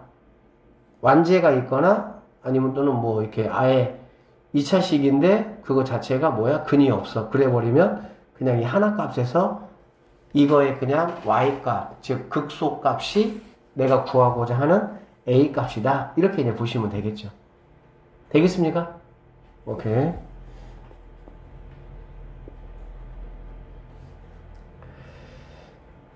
자,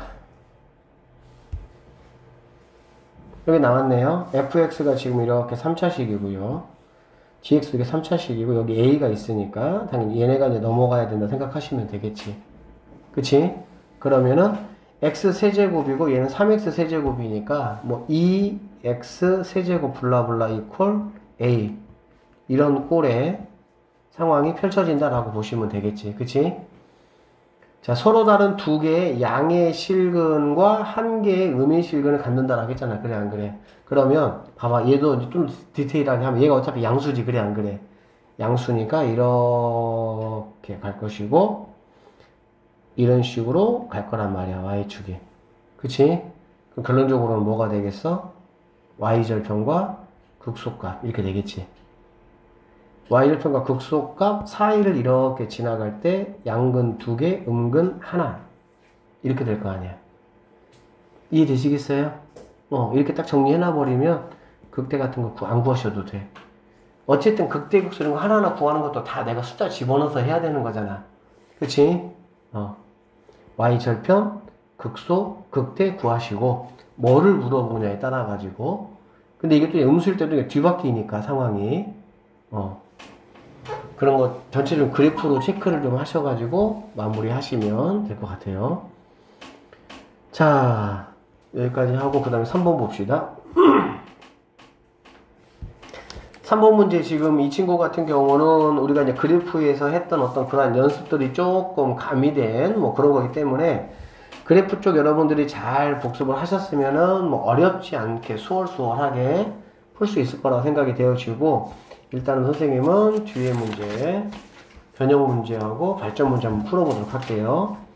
자, 이쪽은 이제 약간 근 문제이긴 한데, 어, 이렇게 얘기하면 혹시라도 내가 복습을 안 할까 염려돼서 사실 얘기하기 그렇긴 한데, 사실 내신성 문제는 아니에요. 이쪽 파트는. 내신성 문제는 이제 아까 선생님이 얘기했던 것처럼 방정식에서는 그냥 그 문제가 나와. 어, 근 3개가 되기 위한 뭐 조건 구하라. 이런 식으로. 근데 얘는 이제 거기에서 조금 더 복잡하게 여러분이 벌써 변형 문제 15, 519번 보더라도 조금 어떻습니까? 복잡하게 느껴지시죠. 그쵸? 쌤이 설명을 해줄 거야. 어, 그러니까는 잘 좀 들으시고 그래프하고 연관해서 이런 식의 문제들이 모의고사에서 나중에 수능에서 충분히 나올 수 있는 문제들이니까 한번 보도록 해봅시다. 자, 보시면 519, 519번이에요. 자, fx가 이렇게 있고요. 자, 이렇다. 결론적으로 이제 얘가 이제 극대, 극소, 극, 아니, 극소, 극대, 극소 이렇게 되겠지. 맞지? 어. 얘는. 자, 그래서 뭐 굳이 그려보자면 이렇게 0이 되는 점을 이렇게 기준으로 이렇게 해가지고 그래프가 뭐 이런 식의 상황으로 이렇게 뭐 그려질 거다라는 거는 충분히 생각해 볼 수가 있겠죠. 그쵸? 일단은, 음. 그럼 여기가 이제 A가 되는 거고, 얘가 B가 되는 거고, 얘가 이제 C가 되는 거야. 여기는 대칭이 될 수도 있고, 얘가 더 이렇게 아래로 내려올 수도 있고, 얘가 더 이렇게 아래로 내려갈 수도 있고, 그렇게 되겠지. 그치? 어. 그거는 이제 증가 감소 폭에 따라 사실 좀 달라지긴 하겠지. 근데 어쨌든 디테일하게는 알 수는 없으니까. 자, 그리고 뭐도 알 수 없다? 위치도 알 수가 없다라고 했지. 자, 근데 여기 보세요. 일단은 가가 뭐냐면 F0은 0이야. 근데 0이 어디 있냐면 A하고 비슷하게 지금 이 정도가 0이거든. 얘가 0이거든. 얘가 0이야. 그치? 어. 근데 F0이 0이니까 그런 쪽으로 이게, 이게 X축이 되겠지. 이게 X축. 맞죠? 어. 근데 이게 X축인데 좀 조심할 게 얘들아 뭐냐면 이 얘기야. 자. 여기서 어떤 상황이 벌어지냐면은 얘가 0이니까 얘는 무조건 당연히 이렇게 있겠지. 이렇게. 얘가 0이니까. 그치? 그리고 B도 위로, 위로 올라오, 위로 올라오겠지, 당연히. FB도 양수고 얘도 음수야, 무조건. 이건 0이 0이니까. 근데 C 값은 상황에 따라서 이렇게 될 수도 있는 거지. 그러면 이 C 값은 뭐일 수도 있고, 당연히 FC는 양수일 수도 있고요. 얘가 이렇게 된다라고 하면, 이런 때 FC는 뭐가 돼? 음수가 될 수도 있겠지. 이거 몰라, 그거는 몰라. 그러니까 주어진 조건 가지고 내가 뭐 해야 돼? 판단하셔야 되는 거야. 그 이런 것 때문에 그래프에 대해서 우리가 민감해져야 돼, 사실은. 여기까지 알겠지? 자, 어쨌든 간에, 뭐, 지금 뭐, 이렇게 파란색의 상황이 되거나 아니면 검은색의 상황이 될 수는 있겠다라는 거는 생각해 볼 수가 있겠죠. 됐죠? 자, 그 다음에, 여기 보니까, 이렇게 됐어, 이렇게, 이렇게, 이렇게. 자, 이게 지금 뭔 소린가 하니, 일단은 내가 확인할 수 있는 것도 확인해 보면, FB야, FB. FP는, FP는 무조건 뭐, 얘, 얘가 지금 FP잖아, 얘가 FP. 그치? FP는 어쨌든 무조건 양수야, 얘는 무조건 양수. 맞죠? 됐죠? 얘는 무조건 양수 맞죠? 어. 돼요? 어. 얘는 무조건 양수야. FC는, 아까 얘기했지만, 이럴 수도 있고 이럴 수도 있기 때문에, 모르는 거죠. 수, 음수일 수 있으니까, 얘는 몰라, 그니까. 얘는 일단 놔두고, FA-FC잖아. 그래, 안 그래? 그치? 그럼 FA-FC인데, FA가, FA가 뭐라면?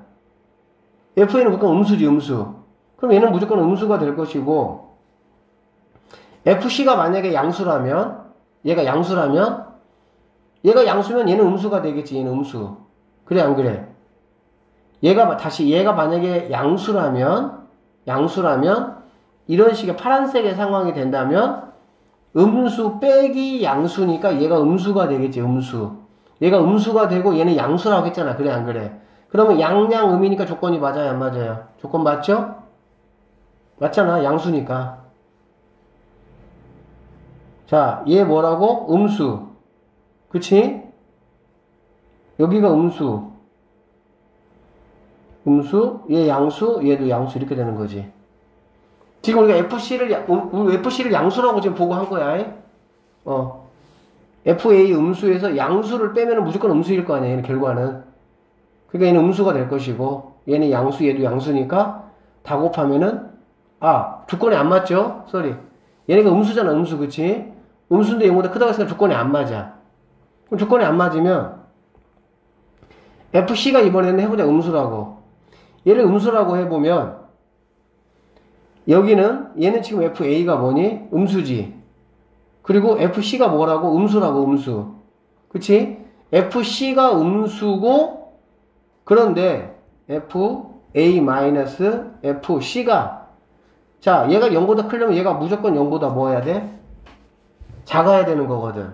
그치? 그러면 FA보다는 FC가 뭐 해야 돼? 커야 돼. 즉 FA보다는 FC가 크기는 커야 돼. 그러면서 음수인 거야. 맞지? 어, 그러니까, 이렇게 조금 더 내려왔다라고 치면, 너는 약간 이런 정도로 내려오는 이런 상황이 되면 된다는 얘기지. 이렇게 상황이 이렇게. 되시겠어요? 왜 그러냐면 우리가 FC가 양수라고 했을 때는 조건에 아예 맞아지지가 않잖아. 그치? 그러니까 이렇게밖에 안 되는 거야. 자, 그래서 다시 그려보면 선생님이 음. 이렇게 내려오고 B 이렇게 가고요. 얘는 살짝만 이렇게 내려오고 이렇게 갈게. 그리고 X축을 이 정도라고 한번 선생님이 생각을 해보면 될 것 같아요. 음. 이렇게 이 정도로 됐습니까? 응? 자, 이런 이제 형태의 모양이 된다라고 볼 수가 있겠지, 됐지? 자, 그러면 두 상수 KL에 대해서 FA는 뭐래? K래. 그 FA는 지금 여기잖아. 그래, 안 그래? 그치? 그러면 K는 뭐 여기 그냥 이렇게, 이렇게, 이렇게, 이렇게. 그럼 Y는 K 이렇게 될 것이고, 자, 이렇게 된다. 그랬을 때, 자, 뭘 구하라 그랬냐면 여기서 fx-k 이퀄 0. fx 이퀄 마이너스 k 얘는 바로 우리가 알고 알지? fx하고 k하고의 교점이잖아. 그래 안 그래? 그러면 당연히 몇 개야? 한 개지 여기. 한 개니까는 아, p 값은 1이다라고 볼 수가 있겠네요. 그렇죠? 그다음에 여기서 l은 l은 0보다는 크고 fb보다는 작다겠지 l은. 그치? 그러면 L은 어디를 지나가는 상황이 되는 거야? L은 0보다는 커야 되고 이게 지금 FB니까 얘보단 작아야 되니까 얘가 바로 뭐가 될 수가 있겠어? L이 될 수가 있겠지. 그치? 0보다는 커야 되고 0보다는 커야 되고 FB보다 FB가 여기니까 이거 사이니까 이런 식의 상황이 바로 L이 되겠지. 자, 얘는 바로 뭐죠? fx 함수와 L이라는 상수 함수의 교점. 그치? 그러면 하나, 둘, 셋, 네 개 이렇게 될 수가 있겠네. 결론적으로 축값은 바로 뭐가 된다? 네 개가 된다. 그래서 다섯 개가 답이 된다. 이렇게 풀어내는 문제이기 때문에 어 앞쪽에 이제 어쨌든 그래프 쪽 잘 공부하시면 이런 문제들도 생각보다는 뭐 좀 풀어낼 수 있어요. 충분히.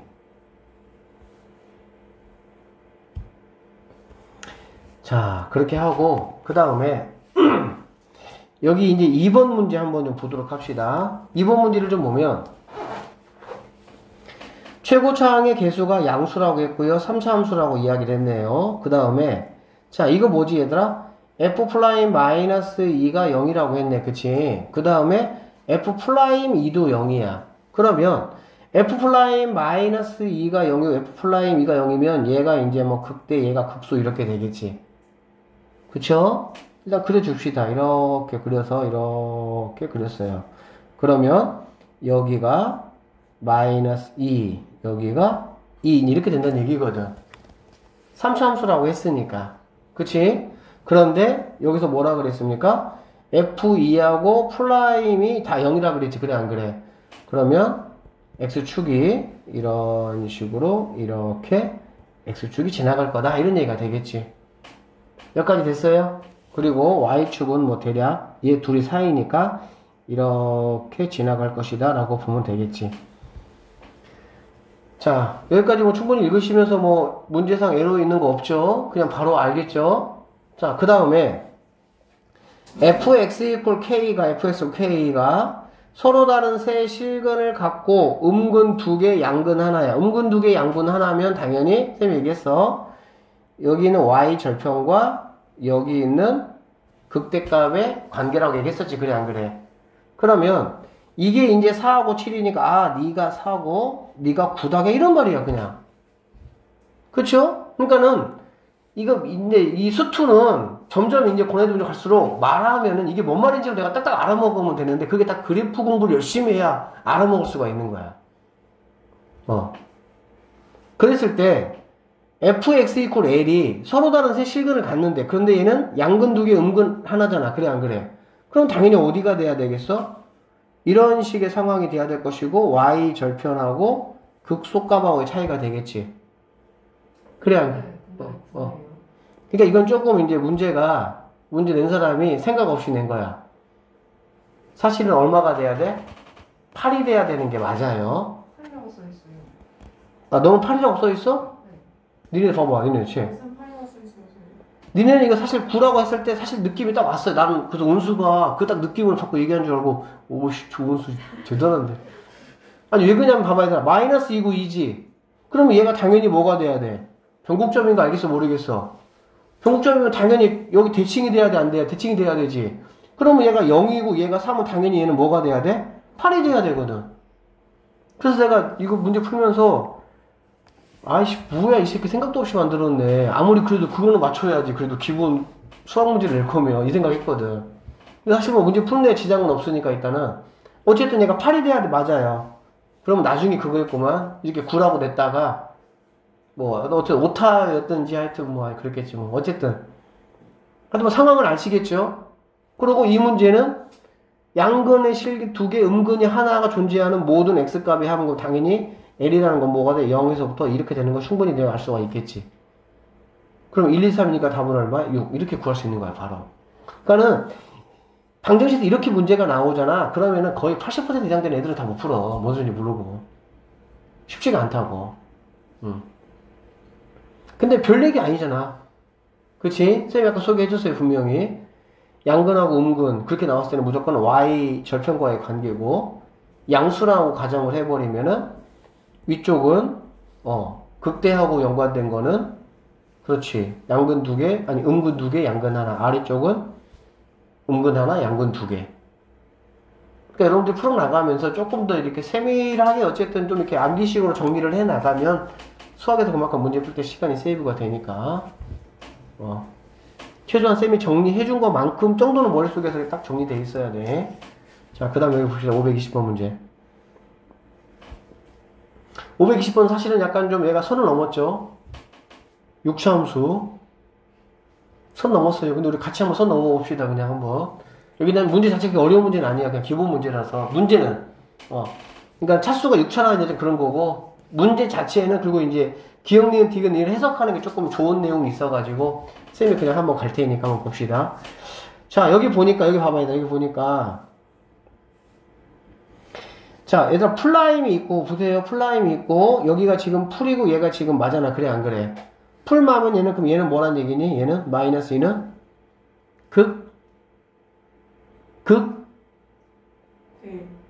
아니, 뭔가 이게 풀마가 바뀌는 게 극소 아니면 극대 아니야. 그래, 안 그래?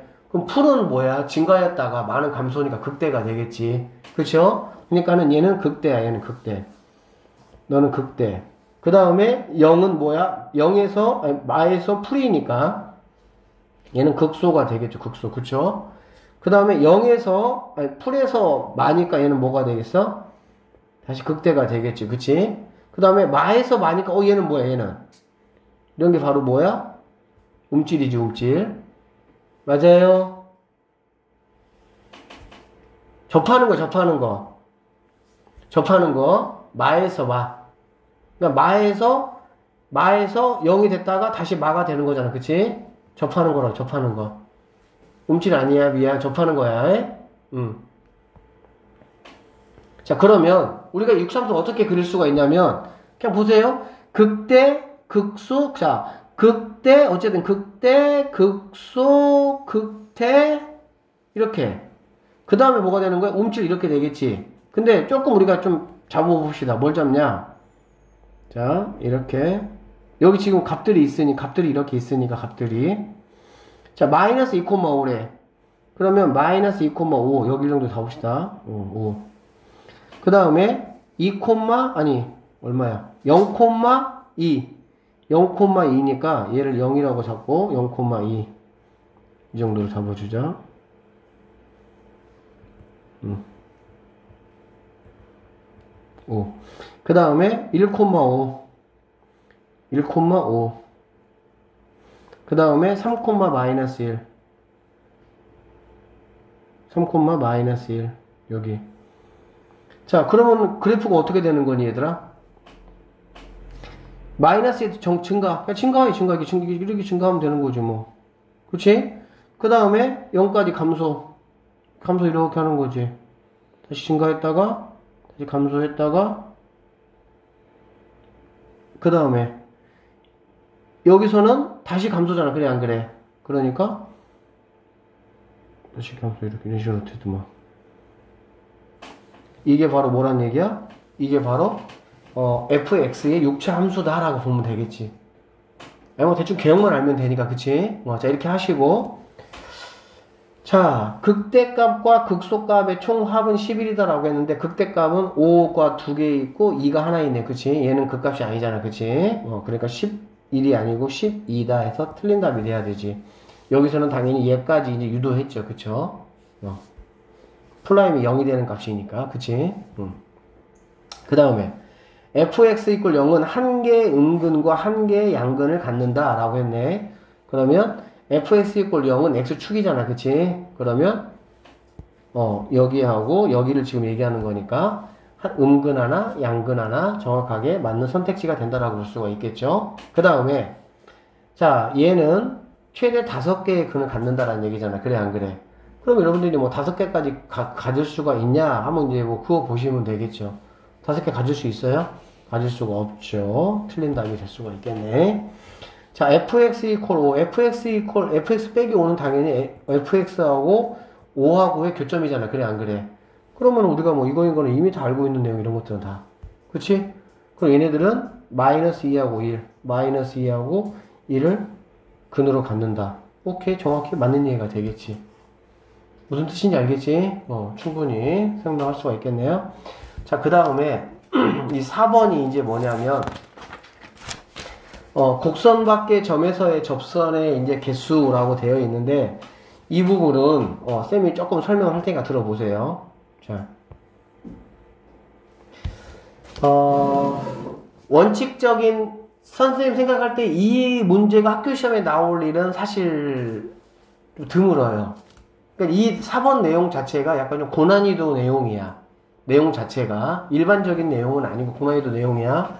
어. 그런데 푸는 방식은 여기 이제 방법 1번 너희들이 이게 보고 이렇게 보시면 어려운 내용은 없어. 이렇게 풀면 돼. 이렇게 풀면 되는데 이렇게 안 풀고 선생님은 이제 약간 그냥 직관적으로 좀 바로 쉽게 풀 수 있는 방법을 한번 소개를 할 테니까 여러분들이 한번 들어보시고 이용을 좀 하시면 좋을 것 같아. 자, 봅시다. 어, 이게 지금 뭐 제목이 뭐냐면 이거야. 어, 그 3차 방정식에서 3차 함수에서 3차 함수에서 곡선 밖의 점에서 점에서 그을 수 있는 그 식이 무엇이냐 접선의 개수야. 자, 3차 함수가 이렇게 있어. 3차, 3차, 3차 그래프가 이렇게 있고, 곡선 밖의 점에서 그을 수 있는, 또는 뭐 꼭 굳이 곡선 밖은 아니야.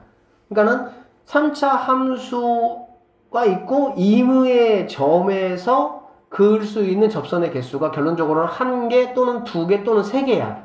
그러니까 하나, 두 개, 세 개가 어떻게 이제 되느냐라는 건데, 자, 여기서 이거는 좀 적어 놓으세요, 얘들아. 자, 키포인트는 뭐냐면, 변곡점에,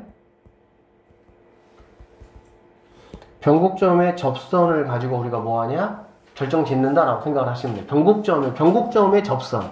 어, 자, 볼게요. 3차 함수가 이렇게, 자, 이런 식으로 이렇게 있더라고 해볼게요. 이렇게, 이렇게. 그러면, 변곡점은, 이제 얘가 변곡점이 됩니다. 알겠어요? 얘가 변곡점이 되고 변곡점을 지나는 접선은 변곡점을 지나는 접선은 변곡점을 뚫고 지나간다고 얘기했어요. 어. 그래서 얘는 접선이 어떻게 그려지냐? 이런 식으로 이런 식으로 이렇게 이게 이제 변곡점의 접선이야.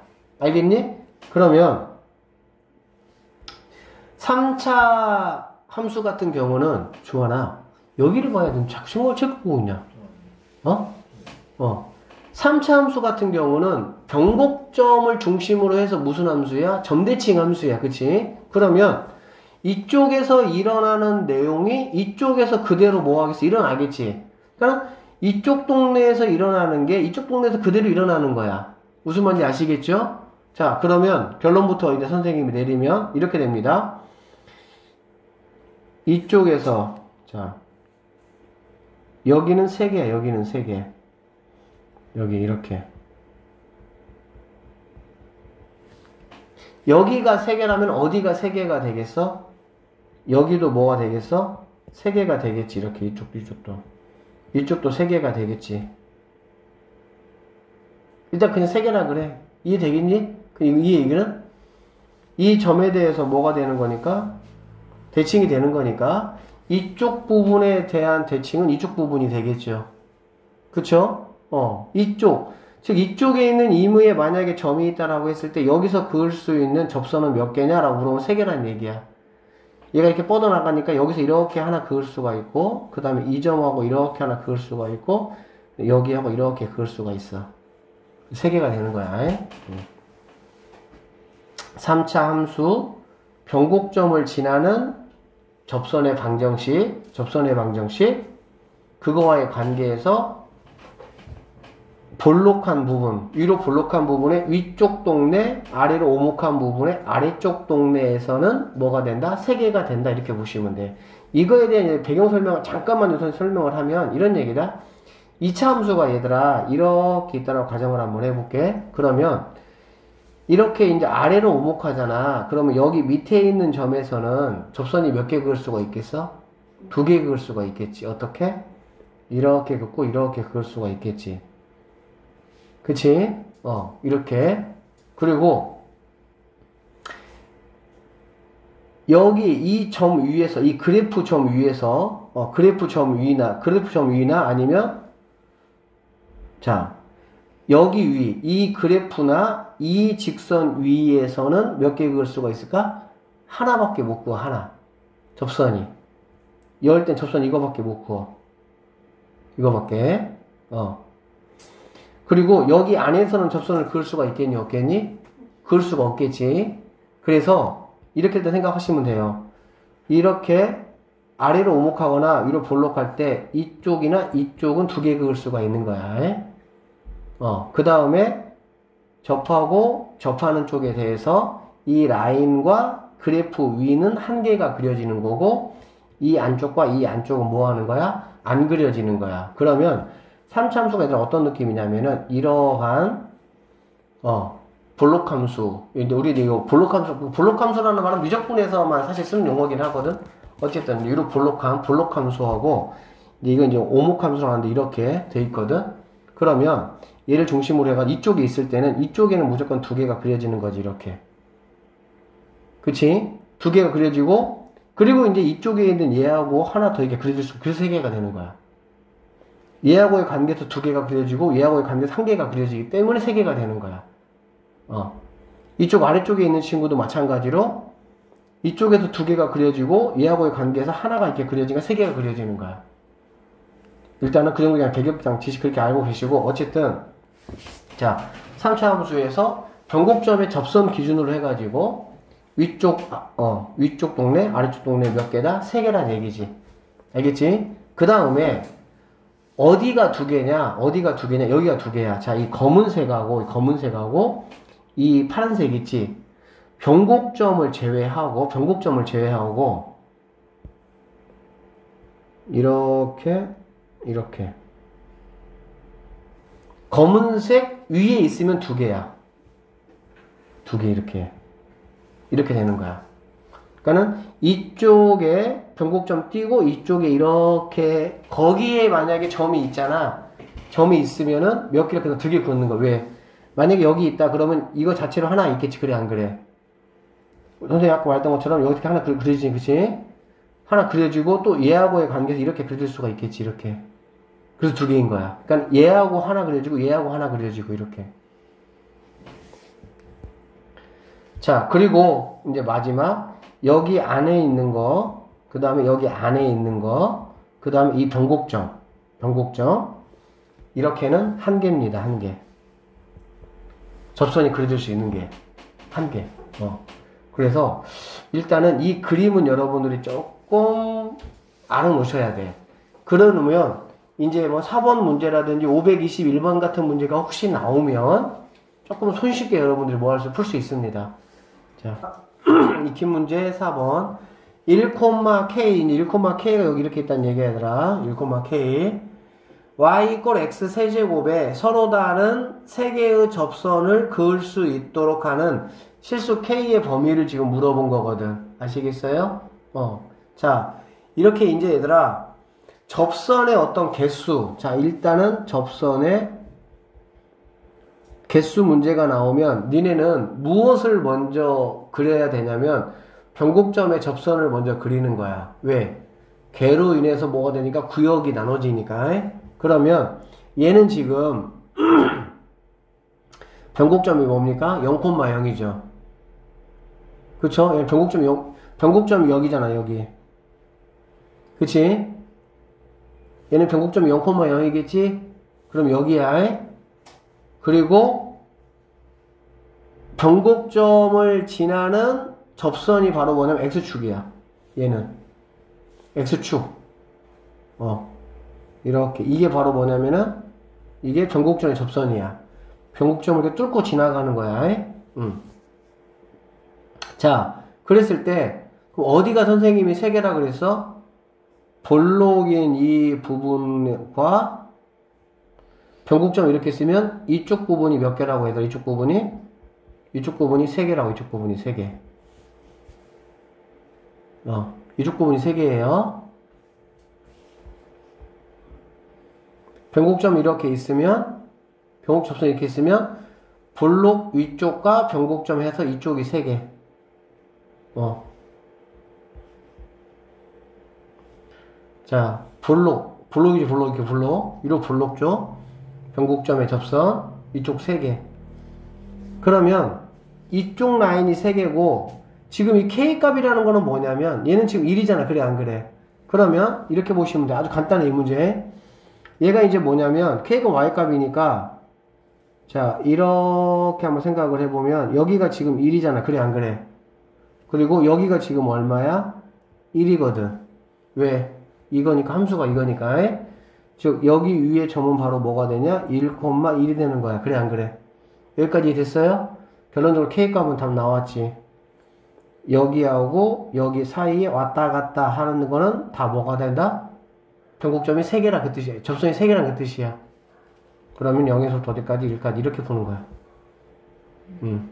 근데 이거를 갖다가 원칙대로 풀려면 여러분 책같이 풀어야 됩니다. 음. 자, 한 문제만 더 볼게요. 자, 여기 보세요. 이제 521번. 521번은 자, 일단은 이렇게 돼 있고 지금 얘는 이제 뭐가 결정되어 있냐면은 얘가 지금 결정돼 이, 자, 1,a잖아. 그래 안 그래? 그치? 그러니까 이제 이 점이라고 보면 되고 A 세 개를 그을 수 있는 A의 뭘 구하라고 했어 얘들아 범위를 구하라고 했지 그래 안 그래 A 범위 자 그러면 얘도 우리가 자 얘도 너네가 딱 보시면 2차가 지금 없죠? 2차가 없고 상수항이 없으면 당연히 0,0이 뭐가 되겠어? 변곡점이 되겠지 그치?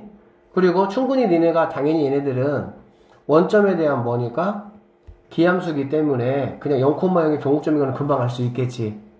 그치? 그러면 중요한 게 뭐냐면 얘들아 변곡점의 접선의 방정식을 내가 다 구해야 될 필요는 없고요. 기울기가 중요해 기울기가. 그럼 기울기가 뭐냐면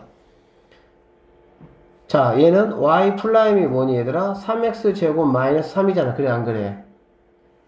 여기 변곡점을 지나는 어떤 접선이 있을 거야. 이 접선 이렇게 접선이 이러 어 쌤이 이렇게 파란색으로 이렇게 이렇게 이런 식의 이게 있겠지 이게 변곡점을 지나는 접선 알겠지 변곡점에서의 접선 그러면 이거의 기울기가 뭐냐면 당연히 0에서의 뭐가 되겠어 얘들아? 접, 도함수 값이 되겠지.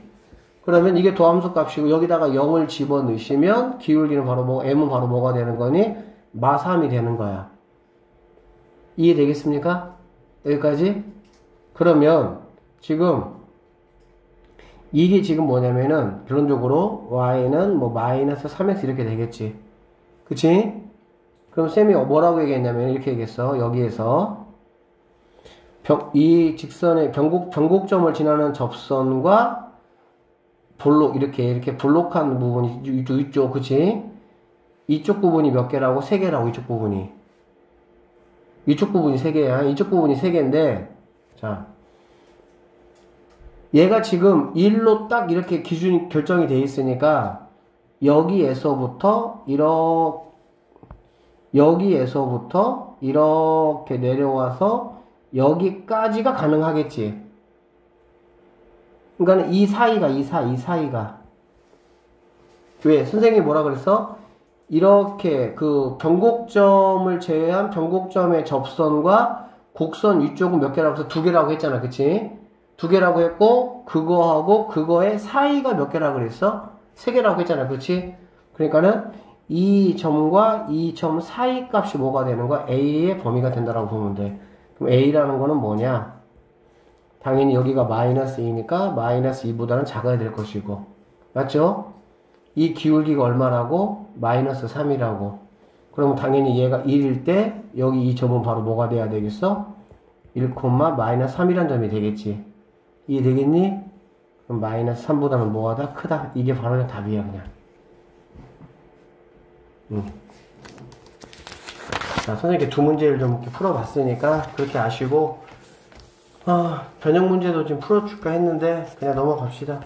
이 정도까지만 그냥 일단은 조금 이해를 좀 해놓으세요. 그리고 어, 뭐 혹시라도 나올 수 있으니까 그 선생님이 아까 써준 거는 지은이가 카톡에 올려놨으니까 그림은 조금 잘 좀 익혀놓으세요. 자, 부등식. 부등식 같은 경우는 어, 절대부등식의 느낌이 강합니다. 어, 그래서 방정식 문제 풀이법이나 부등식 문제 풀이법이나 크게 뭐 다르지가 않기 때문에 음, 문제 통해서 그냥 간단히 보고 넘어가도록 할게요. 음, 자 여기 보자. 어 여기 봐봐. 자 부등식 얘가 성립한다고 했잖아. 그래 안 그래? 그러니까 우리는 어떻게 하면 되는 거니? 그냥 k값 놔두고요. k값 놔두고 얘네 넘겨버리는 거지 이렇게. 그러면 k가 뭐 하는 거야? 마이너스 2x 세제곱 플러스 3x제곱 플러스 12x 되겠지. 그치? 이 그래프를 그리라고. 이걸 그리는데 x가 0보다 큰 쪽이니까 당연히 얘는 음수니까는 뭐 이렇게 그려지겠지. 이런 식으로. 그치? 음. 그러면은 이제 뭐 0이 이제 어디인지는 모르겠지만 얘를 그냥 선생님 x축 0이라고 한번 해볼게. y축이라고. 그러면 이만큼의 이제 그래프가 되겠지. 이런 식의 그래프가. 그럼 K라는 값이 뭐가 돼야 된다는 얘기야? 이만큼의 그래프보다는 크거나 같아야 된다는 얘기가 되겠지? 결론적으로 뭐야? 극대값. 여기 있겠지? 극대값. 극대값이 만약에 5라고 하면 K는 5보다 뭐 하면 돼? 크거나 같기만 하면 되겠지. 뭐 이렇게 이렇게 또 뭐 다 만족하는 거야 이렇게 되면은 맞습니까? 음, 그냥 이전 뭐 이게 그냥 이런 문제야. 별거 없어요. 자.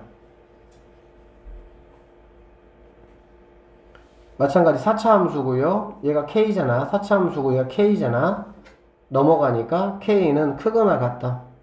그냥 이퀄이었던 게 뭘로 바뀐 것 뿐이야? 그냥 부등식으로 바뀐 것 뿐이야. 그래프 그려가지고 판단하는 거는 방정식 A나 뭐큰 차이 없어요. 마이너스 3x 4제곱 플러스 4x 세제곱 이렇게 되겠지. 그러면 얘는 뭐 이렇게 m자가 이렇게 되겠지. 이런 식으로 되겠지. 어쨌든. 그쵸? 그러면 여기 극대, 여기 극대. 둘 중에서 큰 거. 보다 K가 뭐 하면 되겠어? 크거나 같으면 되겠지. 그치? 어. 여기 극대를 만약에 우리가 뭐 알파라고 하면 K는 알파보다 크거나 같으면 당연히 만족하겠죠. 그냥 이런 문제예요. 음. 자, 문제들 뭐 느낌만 좀 보고 갑시다. 525번.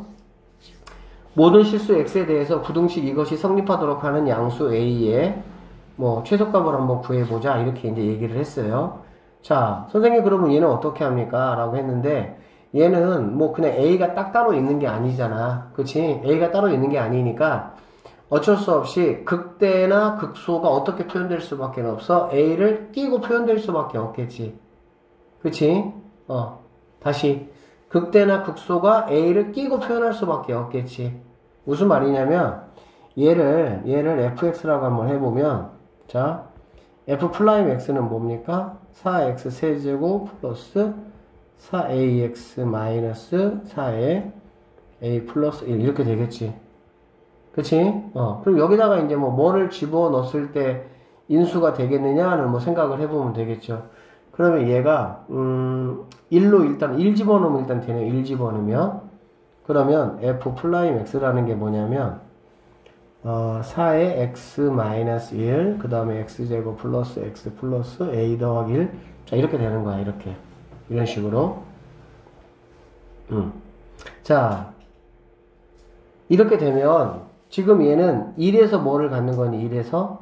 뭐, 어쨌든 얘가 이제 0이 되는 값이 이제 얘가 될, 될 것이고, 자, 여기서 이제 얘가 성립하도록 하는 양수 A의 이제 최소값을 지금 구하라고 했잖아. 그치?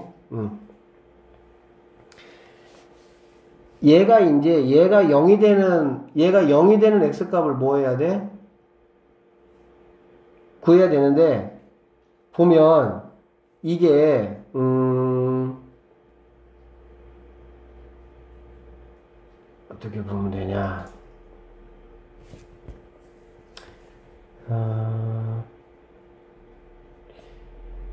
이게 지금 4차 함수고 4차 함수가 이렇게 자 봐봐. 이렇게 되거나 이렇게 뭐 되거나 또는 이렇게 휘리리 이렇게 된다라고 썼을 때 이렇게 된다라고 봤을 때 어, 얘하고 이러한 상황이 만약에 된다라고 하면 얘하고 이러한 상황이 된다라고 하면 여기 있는 값이 뭐가 되겠니? 최소값이 되겠지. 그치? 어, 마찬가지 얘가 뭐가 되겠어? 최소값이 되겠지. 그치? 그러면 여기에서 여기에서 이 A의 판별식이 뭐가 되면 되겠어? 그러니까 이거의 이차함수가 근이 여기서의 이제 근이니까 얘는 뭐 움찔이니까 중근을 가지, 가지는 거고 얘는 뭐가 되겠어? 휠리 개념이 되겠지 그냥 그러니까 여기서 얘가 지금 x 이퀄 1이고 얘가 x 이퀄 1이고 여기서하고 여기서는 얘를 갖다가 gx라고 하면 이거의 판별식이 0보다 작거나 같다 해서 a에 뭐가 나올 수가 있겠어? 범위가 나올 수가 있겠지. 그치? 응. 그리고 나서 그러면 이제 어디에서 최소값을 가져? 1에서 지금 최소값을 갖잖아. 1에서. 1에서 최소값을 가지니까 여기다가 이제 2를 집어넣어 버리면은 F 자, 원 한번 해볼까요? 그럼 뭐가 되니? 1 더하기 2A 마이너스 4A 마이너스 4 더하기 A 제곱 이렇게 될 수가 있겠네. 그치? 음. 그러면 이 식이 잠깐만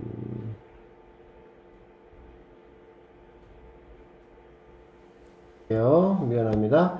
자 여기서 여기서 다시 봐봐야 돼 여기서 어, 여기서 쌤이 조금 잘못 판단했네.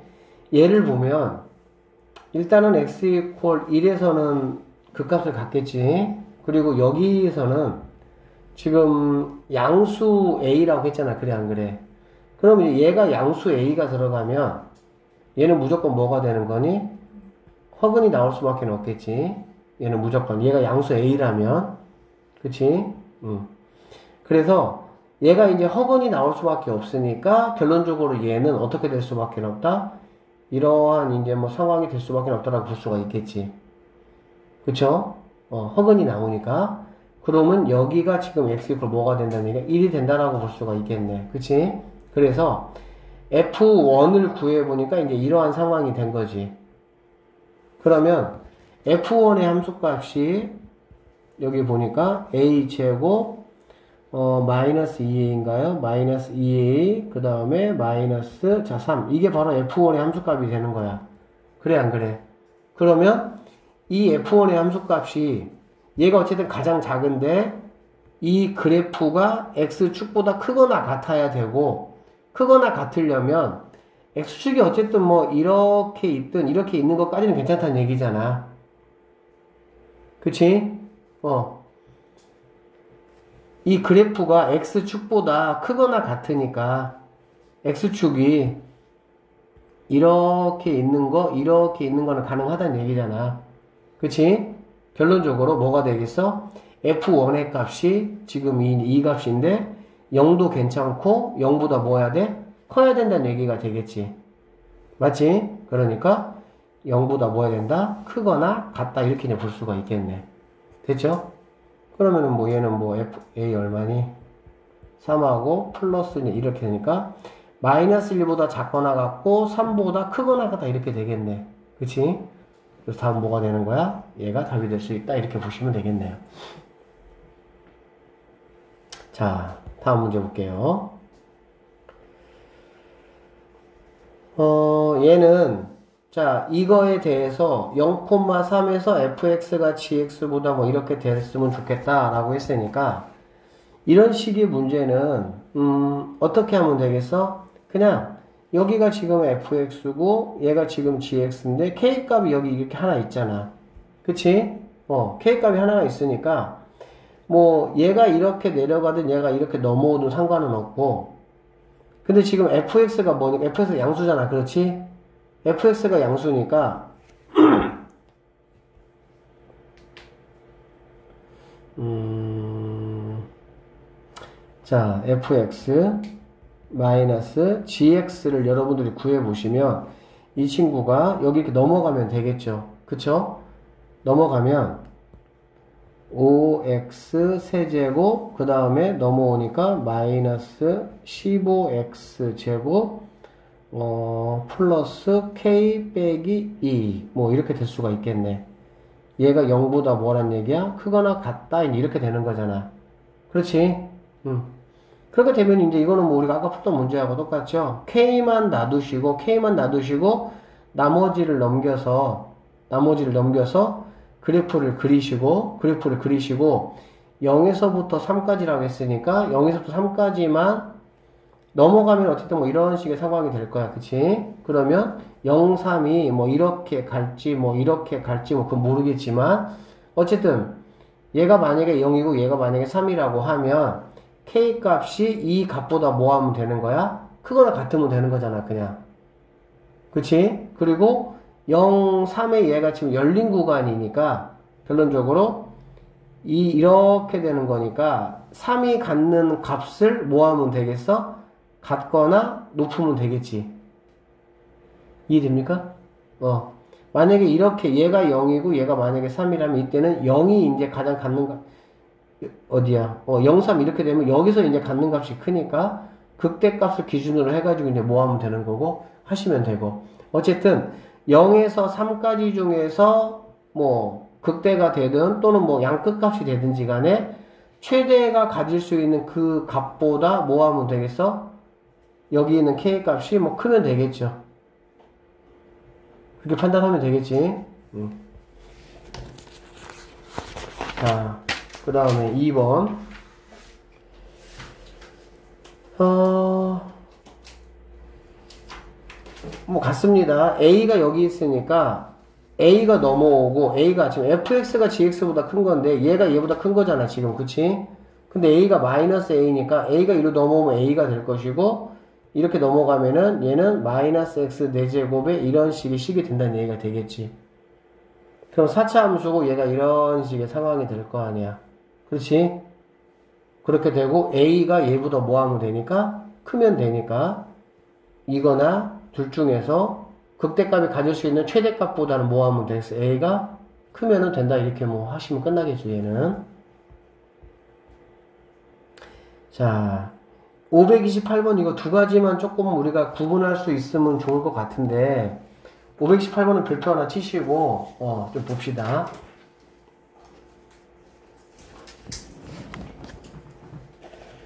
어, 얘는 지금 이 얘기야. 여기 봐봐. 1번하고 2번하고의 차이가 뭐니 얘들아 모든 실수 x에 대해서 이것이 성립한다 하고 임의의 두 실수 x에 대해서 이게 성립한다 이거 고1 때 한번 다뤘던 것 같기도 한데 기억나니? 차이가 뭐야? 모든 실수 x에 대해서 fx가 gx보다 크거나 같다와 이무의 두 실수 x1, x2에 대해서 이게 성립한다라는 거 차이가 뭐냐면 1번은 봐봐 이러 만약에 이러 fx가 이렇게 돼 있고 gx가 이렇게 돼 있어도 얘는 참이야 그러니까는 여기 들어가는 x와 여기 들어가는 x가 똑같아야 되거든. 똑같으니까 어쨌든 간에 이무의 어떤 x값 이렇게 x값에서 봤을 때 fx 값이 gx보다 뭐 하면 돼? 크면 되는 거야. 그러니까는 이렇게 돼도 참이 된다라고 보면 되는 거야. 1번은. 알겠지? 그러니까 이제 크거나 같으면 되니까 뭐 얘가 접하는 것까지 이렇게 하는 것까지는 가능하겠지 이런 것까지는 됐지? 음. 근데 2번의 이무의 두 실수 x1, x2에 대해서 이렇게 된다라는 의미는 뭐냐면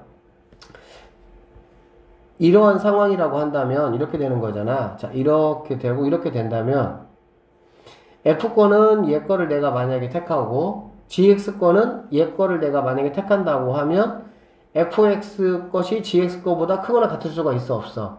없겠지. 그치? 어. 그래서 모든 x에 대해서는 이러한 상황, 우리가 일반적으로 이제 보는 상황이라고 보시면 되고요.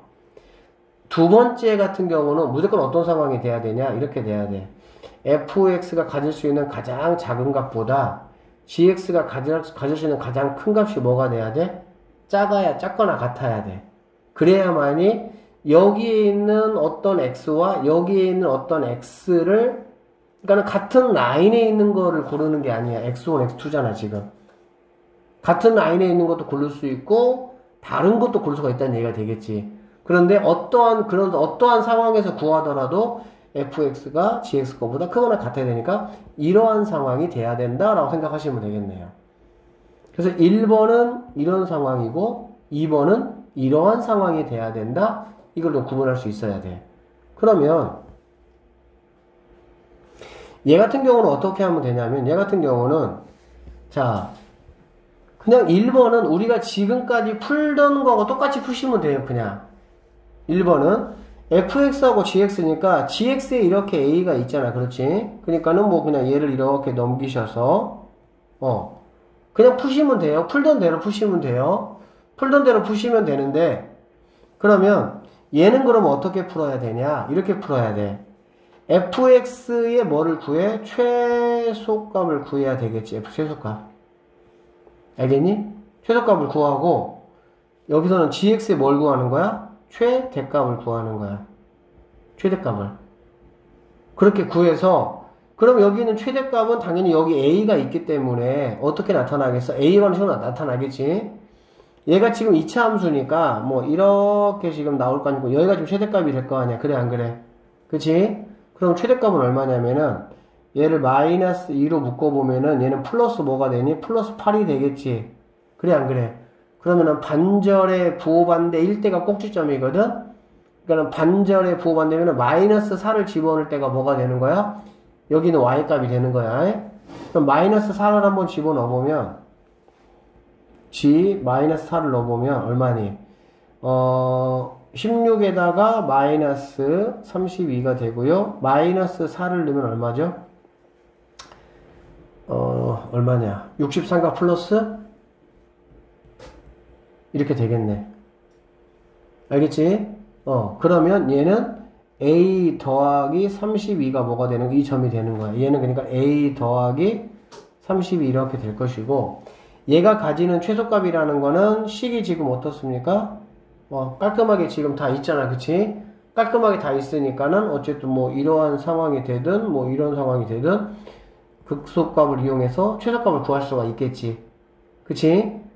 어, 그 최소값이 구해지면은 이러한 조건을 만족을 해야 되니까 얘가 넘어가서 A는 이 값보다 작거나 같다 이런 식으로 구하시면 된다는 얘기야 그러니까는 구하는 거에 대한 어떤 방식 차이만 정확하게 이해하시면 돼요.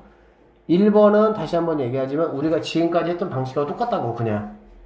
알겠지? 근데 2번 같은 경우는 각각의 큰 거는 최소값, 작은 거는 최대값을 구해서 큰 거에 이렇게 이렇게 돼야 되니까 큰 거에 가장 작은 최소값이 작은 쪽에 가장 큰 최대값보다는 모아야 된다? 이런 식으로 이 조건을 만족해야 되니까 크거나 같다 이거를 이용해서 문제를 풀어내시면 된다는 얘기야. 그러니까는 얘는 뭐 이렇게 섞고 이렇게 하는 게 아니야. 그렇게 하시면 안 돼. Fx가 따로, gx가 따로 각각 구하셔가지고 여기서 판단을 해주셔야 되는 거야, A 범위를. 이해되겠어? 음, 1번이 왜 그거, 2번이 왜 그거. 어? 1번이 왜 이렇게. 음. 그러니까 1번은, 자, 모든 x에 대해서, 이게 fx의 그래프가 gx의 그래프보다 크거나 같다는 얘기잖아. 그러니까 뭐 fx 그래프가 이렇게 되고, 이렇게 된다라고 해도 아무 상관없는 거잖아. fx의 그래프가 gx의 그래프보다 크거나 같으면 되니까. 근데 응. 모든 x에 대해서 맞잖아. 모든 x에 대해서 크잖아. 어. 그러니까 우리가 우리가 이게 보통 생각하는 그냥 부등식이 다 이런 거야. 그냥 이런 거. 응. 우리가 fx를 그냥 그래프로 생각하시면 간단하잖아. 그치? fx의 그래프, gx의 그래프. Fx와 gx로 뭐 하면 돼? 크고, 크기만 하면 돼. 크거나 같기만 하면 되는 거니까. 근데 2번은, 이게 이제 1번하고 말이 달라. 그러니까 1번은 같은 x값에서만 그냥 비교한다라는 어떤 개념이 숨어 있는 거야. 그렇기 때문에 같은 x 라인에서 fx가 gx보다 같거나 크기만 하면 상관없는 거야. 그러니까 이거의 최소값과 이거의 최대값에는 아무런 관련이 없는 거지. 그러니까 그런데 2번 같은 경우는 문제를 잘 봐봐. 임의의 두 실수 x1과 x2거든. 그러니까 어떤 거라도 뽑을 수가 있다는 뜻이야. 그냥 그러니까는 만약에 fx 거에 이거를 뽑고 gx에 만약에 이거를 뽑아버리면 이 조건을 만족하지 않잖아. 그치? 어. 그렇기 때문에 얘는 fx의 최소값이 구하고 gx의 최대값을 구한다고 했을 때 여기의 최소값이 여기의 최대값보다 크거나 같다 이걸 이용해야 된다는 얘기야. 그러니까는 섞을 수가 없고 fx의 최소값 구하고 gx의 최대값을 구하고 거기에서만 뭐 한다는 얘기야? 판단한다는 얘기가 되겠지. 이해됐죠?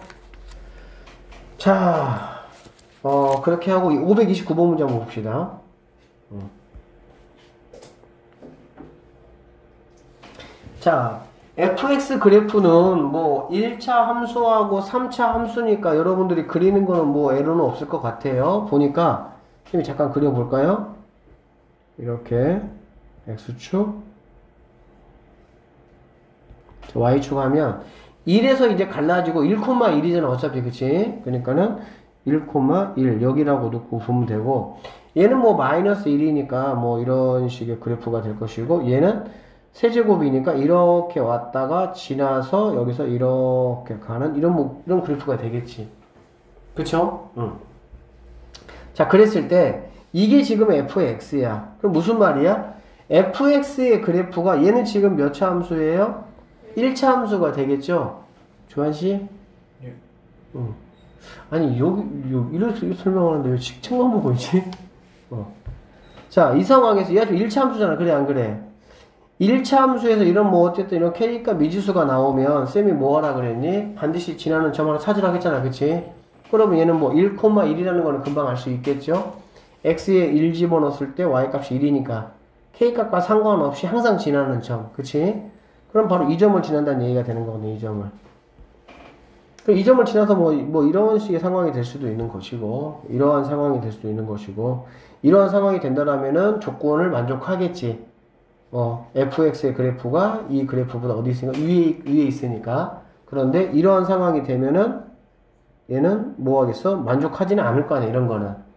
왜? 여기가 fx보다 위에 있으니까. 그치? 그러니까는 얘는 이렇지 않아야 되는 거야. 그러면은 뭐 얘는 생각보다 어려- 간단합니다. 왜 간단하냐? 이렇게 돼 있는 상황에서 이렇게 자 이렇게까지는 가능하겠지 그래 안 그래 같은 것까지는 되니까 그치 그럼 이렇게 안쪽으로 들어가면 안 되잖아. 그치? 안쪽으로 들어가면 안 되면 마이너스 값은 뭐까지만 가능해 마이너스 1까지만 가능하겠지. 그 다음에 더 이게 좀 마이너스 값이 더 이렇게, 이렇게 작, 작아지는 건 괜찮겠지. 그치? 즉 k 값이라는 건 뭐가 된다? 마이너스 1보다는 크거나 같아야 된다는 얘기네. 되겠어요? 그 다음에 이제 최대값은 뭐냐면 결론적으로 여기서 얼마나 이렇게 될 수 있느냐. 지금 그 얘기 이 얘기잖아. 이 얘기 그치 어 이 안쪽으로 이렇게 벗어나 버, 들어가 버리면 뭐 하니까 안 되니까 그러면 어디까지 가능하자라는 말은 그냥 얘가 지금 얘가 fx면 이쪽이 이 3차 함수잖아 그래 안 그래 3차 함수니까 1에서의 접선의 뭐를 구하면 되겠어? 접선의 기울기를 구하면 되겠지. 얘가 지금 어쨌든 어떻게 생기는 거야? 이렇게 지금 생긴, 이렇게 생긴 거 아니야? 그래, 안 그래? 그러니까는 여기 1이라는 점에서의 접선에 뭔가 이렇게 기울기가 있겠지. 그래, 안 그래? 이 기울기일 때가 여기 1을 딱 접할 때니까 얘부터 이렇게 안쪽으로 들어가 버리면 뭐 하는 거야? 들어가 버린 상황이 되겠지. 그치? 그러면 이거 뭐 얼마야? 3x 제곱이고 여기다가 1 집어넣어봤자 기울기가 3이 되겠죠. 맞죠? 그러니까 k 값은 어디까지는 가능하다? 3까지는 가능하다 이렇게 판단할 수가 있겠지. 그래서 뭐 최대값 최소값의 합은 얘가 답이 될 수가 있겠다 이렇게 보시면 되겠네요. 괜찮죠? 자 좋습니다. 여기까지 하시고요. 이제 마지막 속도가 속도 음.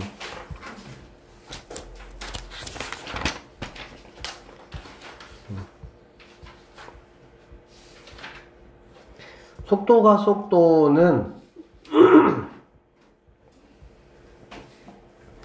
책 혹시 이렇게 찢어서 잘라서 이렇게 쓰시는 분 없죠? 속도가 속도는 조금 오늘 그 뒤쪽에 변화율 쪽은 조금 선생님 오늘 마무리 안 될 것 같으니까 좀 가져오세요. 그쪽. 어, 그냥 이거잖아. 알지? 위치 또는 높이. 이거를 미분하면 뭐가 된다? 속도가 된다. 이렇게 되겠지? 얘를 미분하면 뭐가 된다? 가속도가 된다. 그래서 이제 뭐 여기 개념을 가지고 용어들의 의미만 선생님이 알면 된다 그랬어. 음, 예를 들어서 원점을 지난다. 그 얘기는 위치가 뭐란 얘기야? 0이라 이런 얘기가 되겠지. 그치? 뭐 이렇게 수직으로 올렸던 공이 바닥에 떨어진다. 그거는 바로 뭐가 되는 거야? 위치가 0이 된다. 이런 의미가 되겠지. 그래서 위치 관련해서는 원점을 지난다 또는 뭐 바닥을 지난다 뭐 이럴 때가 라고 생각을 하시면 되겠네요. 그 다음에 사실은 이제 이 속도가 속도에서 주력 문제는 바로 뭐야? 방향을 바꿀 때가 되겠지. 그치? 방향을 바꿀 때. 방향을 바꿀 때라는 거는 어차피 이 입장에서 봤을 때 도함수가 0이 되는 거기 때문에 약간 극대극소하고도 연관이 있고 그렇잖아. 그치? 그러니까는 이제 그 문제가 가장 뭐 한다? 잘 나온다 생각하시면 되겠지. 그래서 방향을 그렇게 좌우 직선 운동에서는 방향을 바꾼다라는 표현을 하고 상하 운동에서는 얘들아 뭐라고 표현하지? 최고 높이 올라갔을 때 이렇게 되겠지. 왜? 최고 높이 올라가면 이렇게 수직 상승하던 것이 뭐가 되는 거니까 하강해야 되는 거잖아. 그래 안 그래? 그러면 그게 바로 방향을 바꾸는 상황이다라고 보시면 되겠죠. 그렇죠? 그래서 방향을 바꾸는 거, 방향을 바꾼다, 최고 높이 이 두 가지가 가장 사실은 주력으로 나오는 문제 포인트다라고 보시면 되고 나머지는 이제 그냥 뭐 그때그때 상황에 따라서 이런 문제를 좀 풀어 보시면 될 것 같아요. 음, 여기 볼까요?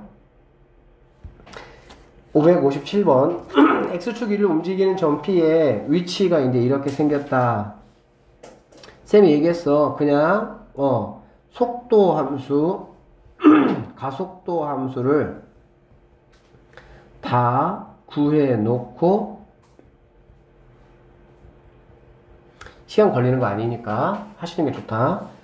점 P가 마지막으로 원점을 지날 때 속도를 구하라 라고 했네. 그치? 얘는 뭐 마지막으로 원점이다. 자, 원점이라는 거는 당연히 얘들아 뭐야? 위치 문제잖아. 위치, 그치? 어, 그니까는 얘가 뭐가 되는, 0이 되는 이런 말이 되겠죠. 그쵸? 얘가 0이 되는 거는 뭐 t로 묶으면은 뭐 2하고 5하고 있다라는 건 알겠지. 그치? 그러면은 당연히 t 이퀄 뭐일 때가 돼서 마지막이니까 5일 때구나 라고 볼 수가 있고 그때 속도니까 속도 함수에다가 5를 집어 넣으시면 끝나는 문제가 되겠죠. 됐어요? 자, 최대 속력을 구하라 이 말은 무슨 말이냐면 이렇게 이렇게 생각하시면 돼. 자, 위치가 지금 3차 함수라면 속도는 당연히 몇 차 함수 얘들아? 2차 함수야. 그치? 정의역이지 정의역. 그래 안 그래? 그러면 이 범위에서 2차 함수의 최고 속력 뭘 구하라? 최대값 구하라 뭐 이 말이지 그냥 그냥 그렇게 그렇게 문제 해석만 좀 하시면 뭐 간단하겠죠 그쵸? 어 2차 함수 뭐 주어진 범위에서 최대값 구하는 거는 뭐 아무것도 아니죠 자 558, 558 수직선 위를 움직이는 두 점 PQ가 이렇게 있고요. 자, PT, QT 이렇게 있습니다. PT에 대한 속도 가속도, 마찬가지 QT의 속도 가속도 일단 구해 놓으시고 PT의 속도가 같아진다라고 했으니까 같아진다라고 했으니까 여기서 구한 VPT 그 다음에 QPT가 같다라고 놓고 거기서 T값이 구해지겠지 그래 안 그래? 충분히 되죠? 이제 우리가 A라고 했으니까 그 순간 P와 Q의 거리를 B라고 했으니까 거리라는 거는 어디서 판단이 돼야 됩니까? 당연히 위치에서 판단이 돼야 되겠지. 그치? 그러니까는 파트가 몇 개야? 위치, 속, 속도, 그 다음에 가속도 이렇게 있으니까 여기서 물어보는 거 내가 어디서 구할 거냐라는 것만 너희들이 아시면 되겠지. 그러면 당연히 뭐 거리라고 했으니까는 여기서 A가 만약에 뭐 3이라고 만약에 해버리면 당연히 P3 구하고 Q3 구하고 어떻게 하면 돼? 큰 거에서 작은 거 뺀 게 바로 뭐 거리가 되겠지 그치? 그렇게 보시면 되겠네요. 다음 문제.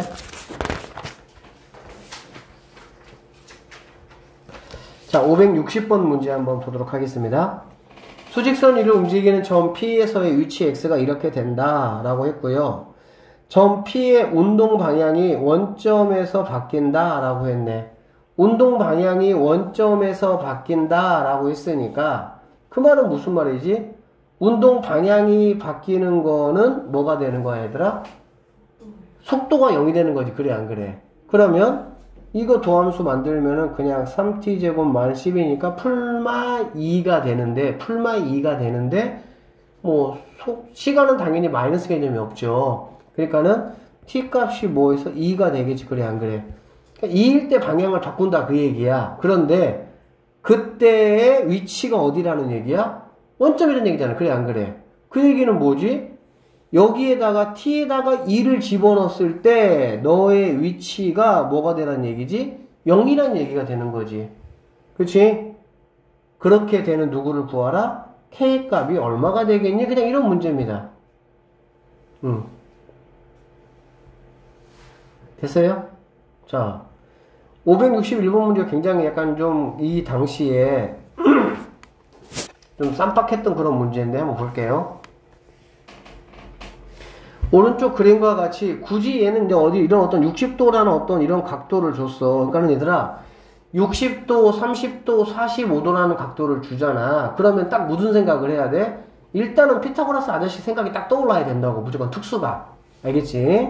자, 그렇게 되고 자, 어쨌든 HT가 이렇다라고 했네요. 높이가 경사면과 처음으로 충돌하는 순간의 공의 속도를 구하라고 했잖아요. 그래, 안 그래? 그러면 일단은 뭐 prime을 한번 구해 보시면 뭐가 되겠어? 마이너스 10t 이렇게 될 수가 있겠지. 그치? 음. 그러면 나는 뭐만 구하면 돼? 언제 처음으로 충돌하냐? 그 충돌하는 시간이 얼마냐? 지금 그 얘기가 되겠지. 그 시간을 구해서 근데 충돌하는 순간이라는 거는 어디서 구해야 돼? 위치에서 구해야 돼? 속도에서 구해야 돼? 가속도에서 구해야 돼? 생각을 해봐. 충돌이라는 건 위치잖아, 위치, 그치? 어, 그러니까 위치에서, 근데 그런 것만 니네가 아시면 돼요. 그러면 이 공이 이렇게 내려와서 이런 식으로 이렇게 모아게서 충돌하겠지. 즉, 바닥면에 닿기 전에 여기에 먼저 닿겠지. 여기까지 됐어요? 자, 그러면 보세요. 충돌하는 순간 자 그러면 얘가 지금 무슨 함수니까? 위치 함수니까. 그러면 나는 위치가 지금 얼마냐를 내가 지금 뭐 해야 돼? 알아야 돼. 얼마냐를 알아야 거기에서 뭐를 구하는 거야? t값을 구하겠지? 그 구한 t값을 여기다가 집어넣으면 게임은 끝나는 거고. 그럼 t값 어떻게 구하냐? 간단하죠? 보세요. 얘가 지금 원의 중심이라고 하면 이만큼이 얼마니? 이만큼이 0.5잖아. 지금 0.5라고 했으니까. 그치? 그러면 얘가 0.5면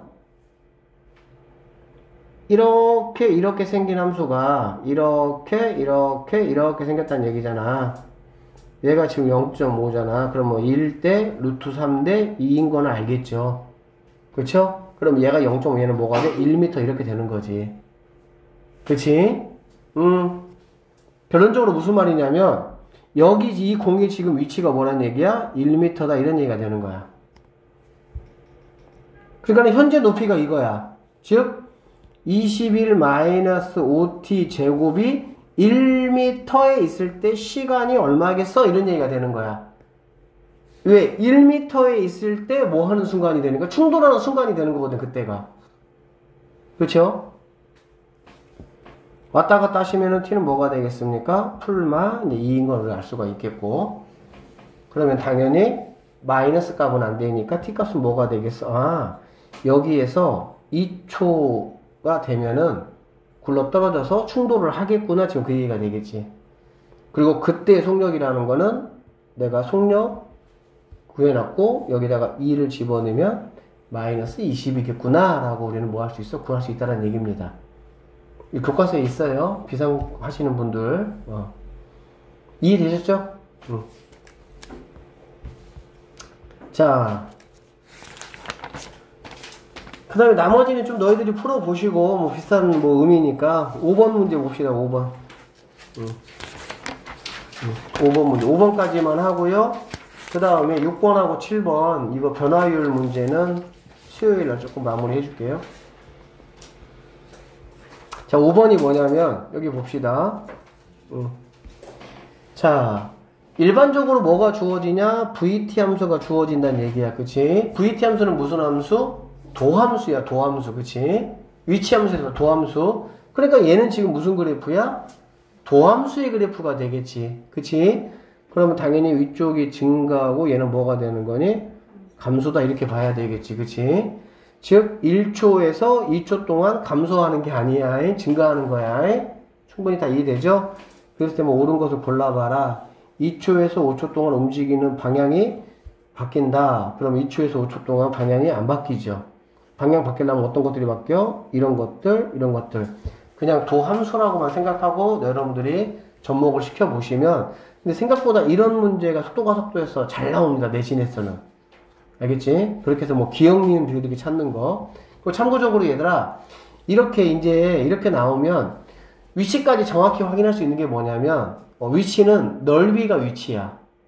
생각을 해봐. 속도를 속도가 지금 도함수지. 도함수를 뭐하면 적분하면 그게 바로 뭐가 돼? 위치가 되잖아. 그치? 어. 그래서 처음에 출발했을 때 1초 후에 어디에 가 있냐라고 물어보면 이만큼의 넓이만큼을 갔다고 보시면 되는 거야. 그러니까 처음에 0에서 출발했으면 1초가 지났을 때 1m 갔다 여기 위치에 있다고 보면 되겠지. 이런 식으로 알겠지? 그래서 원점에 왔을 때가 몇 초냐라고 물어보면 얘는 당연히 플러스 넓이가 되잖아. 그래 안 그래? 그러면 마이너스 쪽으로 넓이가 얘하고 같아지는 어떤 순간이 있겠지. 그러면 그 시간이 바로 뭐가 되는 거니? 원점에 도착한 시간이다라고 보시면 되겠죠. 무슨 의미인지 알겠죠? 어, 그 위적인 거는 뭐 여러분들이 도함수 이용하시면 되고 570번 한 문제만 마무리 하시고 끝날게요. 자, 수직선 위로 움직이는 점 P의 시각 T와 그때의 뭐 관계다라고 했고요. 어, 얘들 봐봐. 이거는 지금 문제가 잘 보셔야 돼. 시각 t와 그때 위치 x에 관한 함수가 이거거든. 그러니까 얘는 지금 무슨 함수가 아니야? 얘는 지금 도함수가 아니야. 원함수야, 원함수.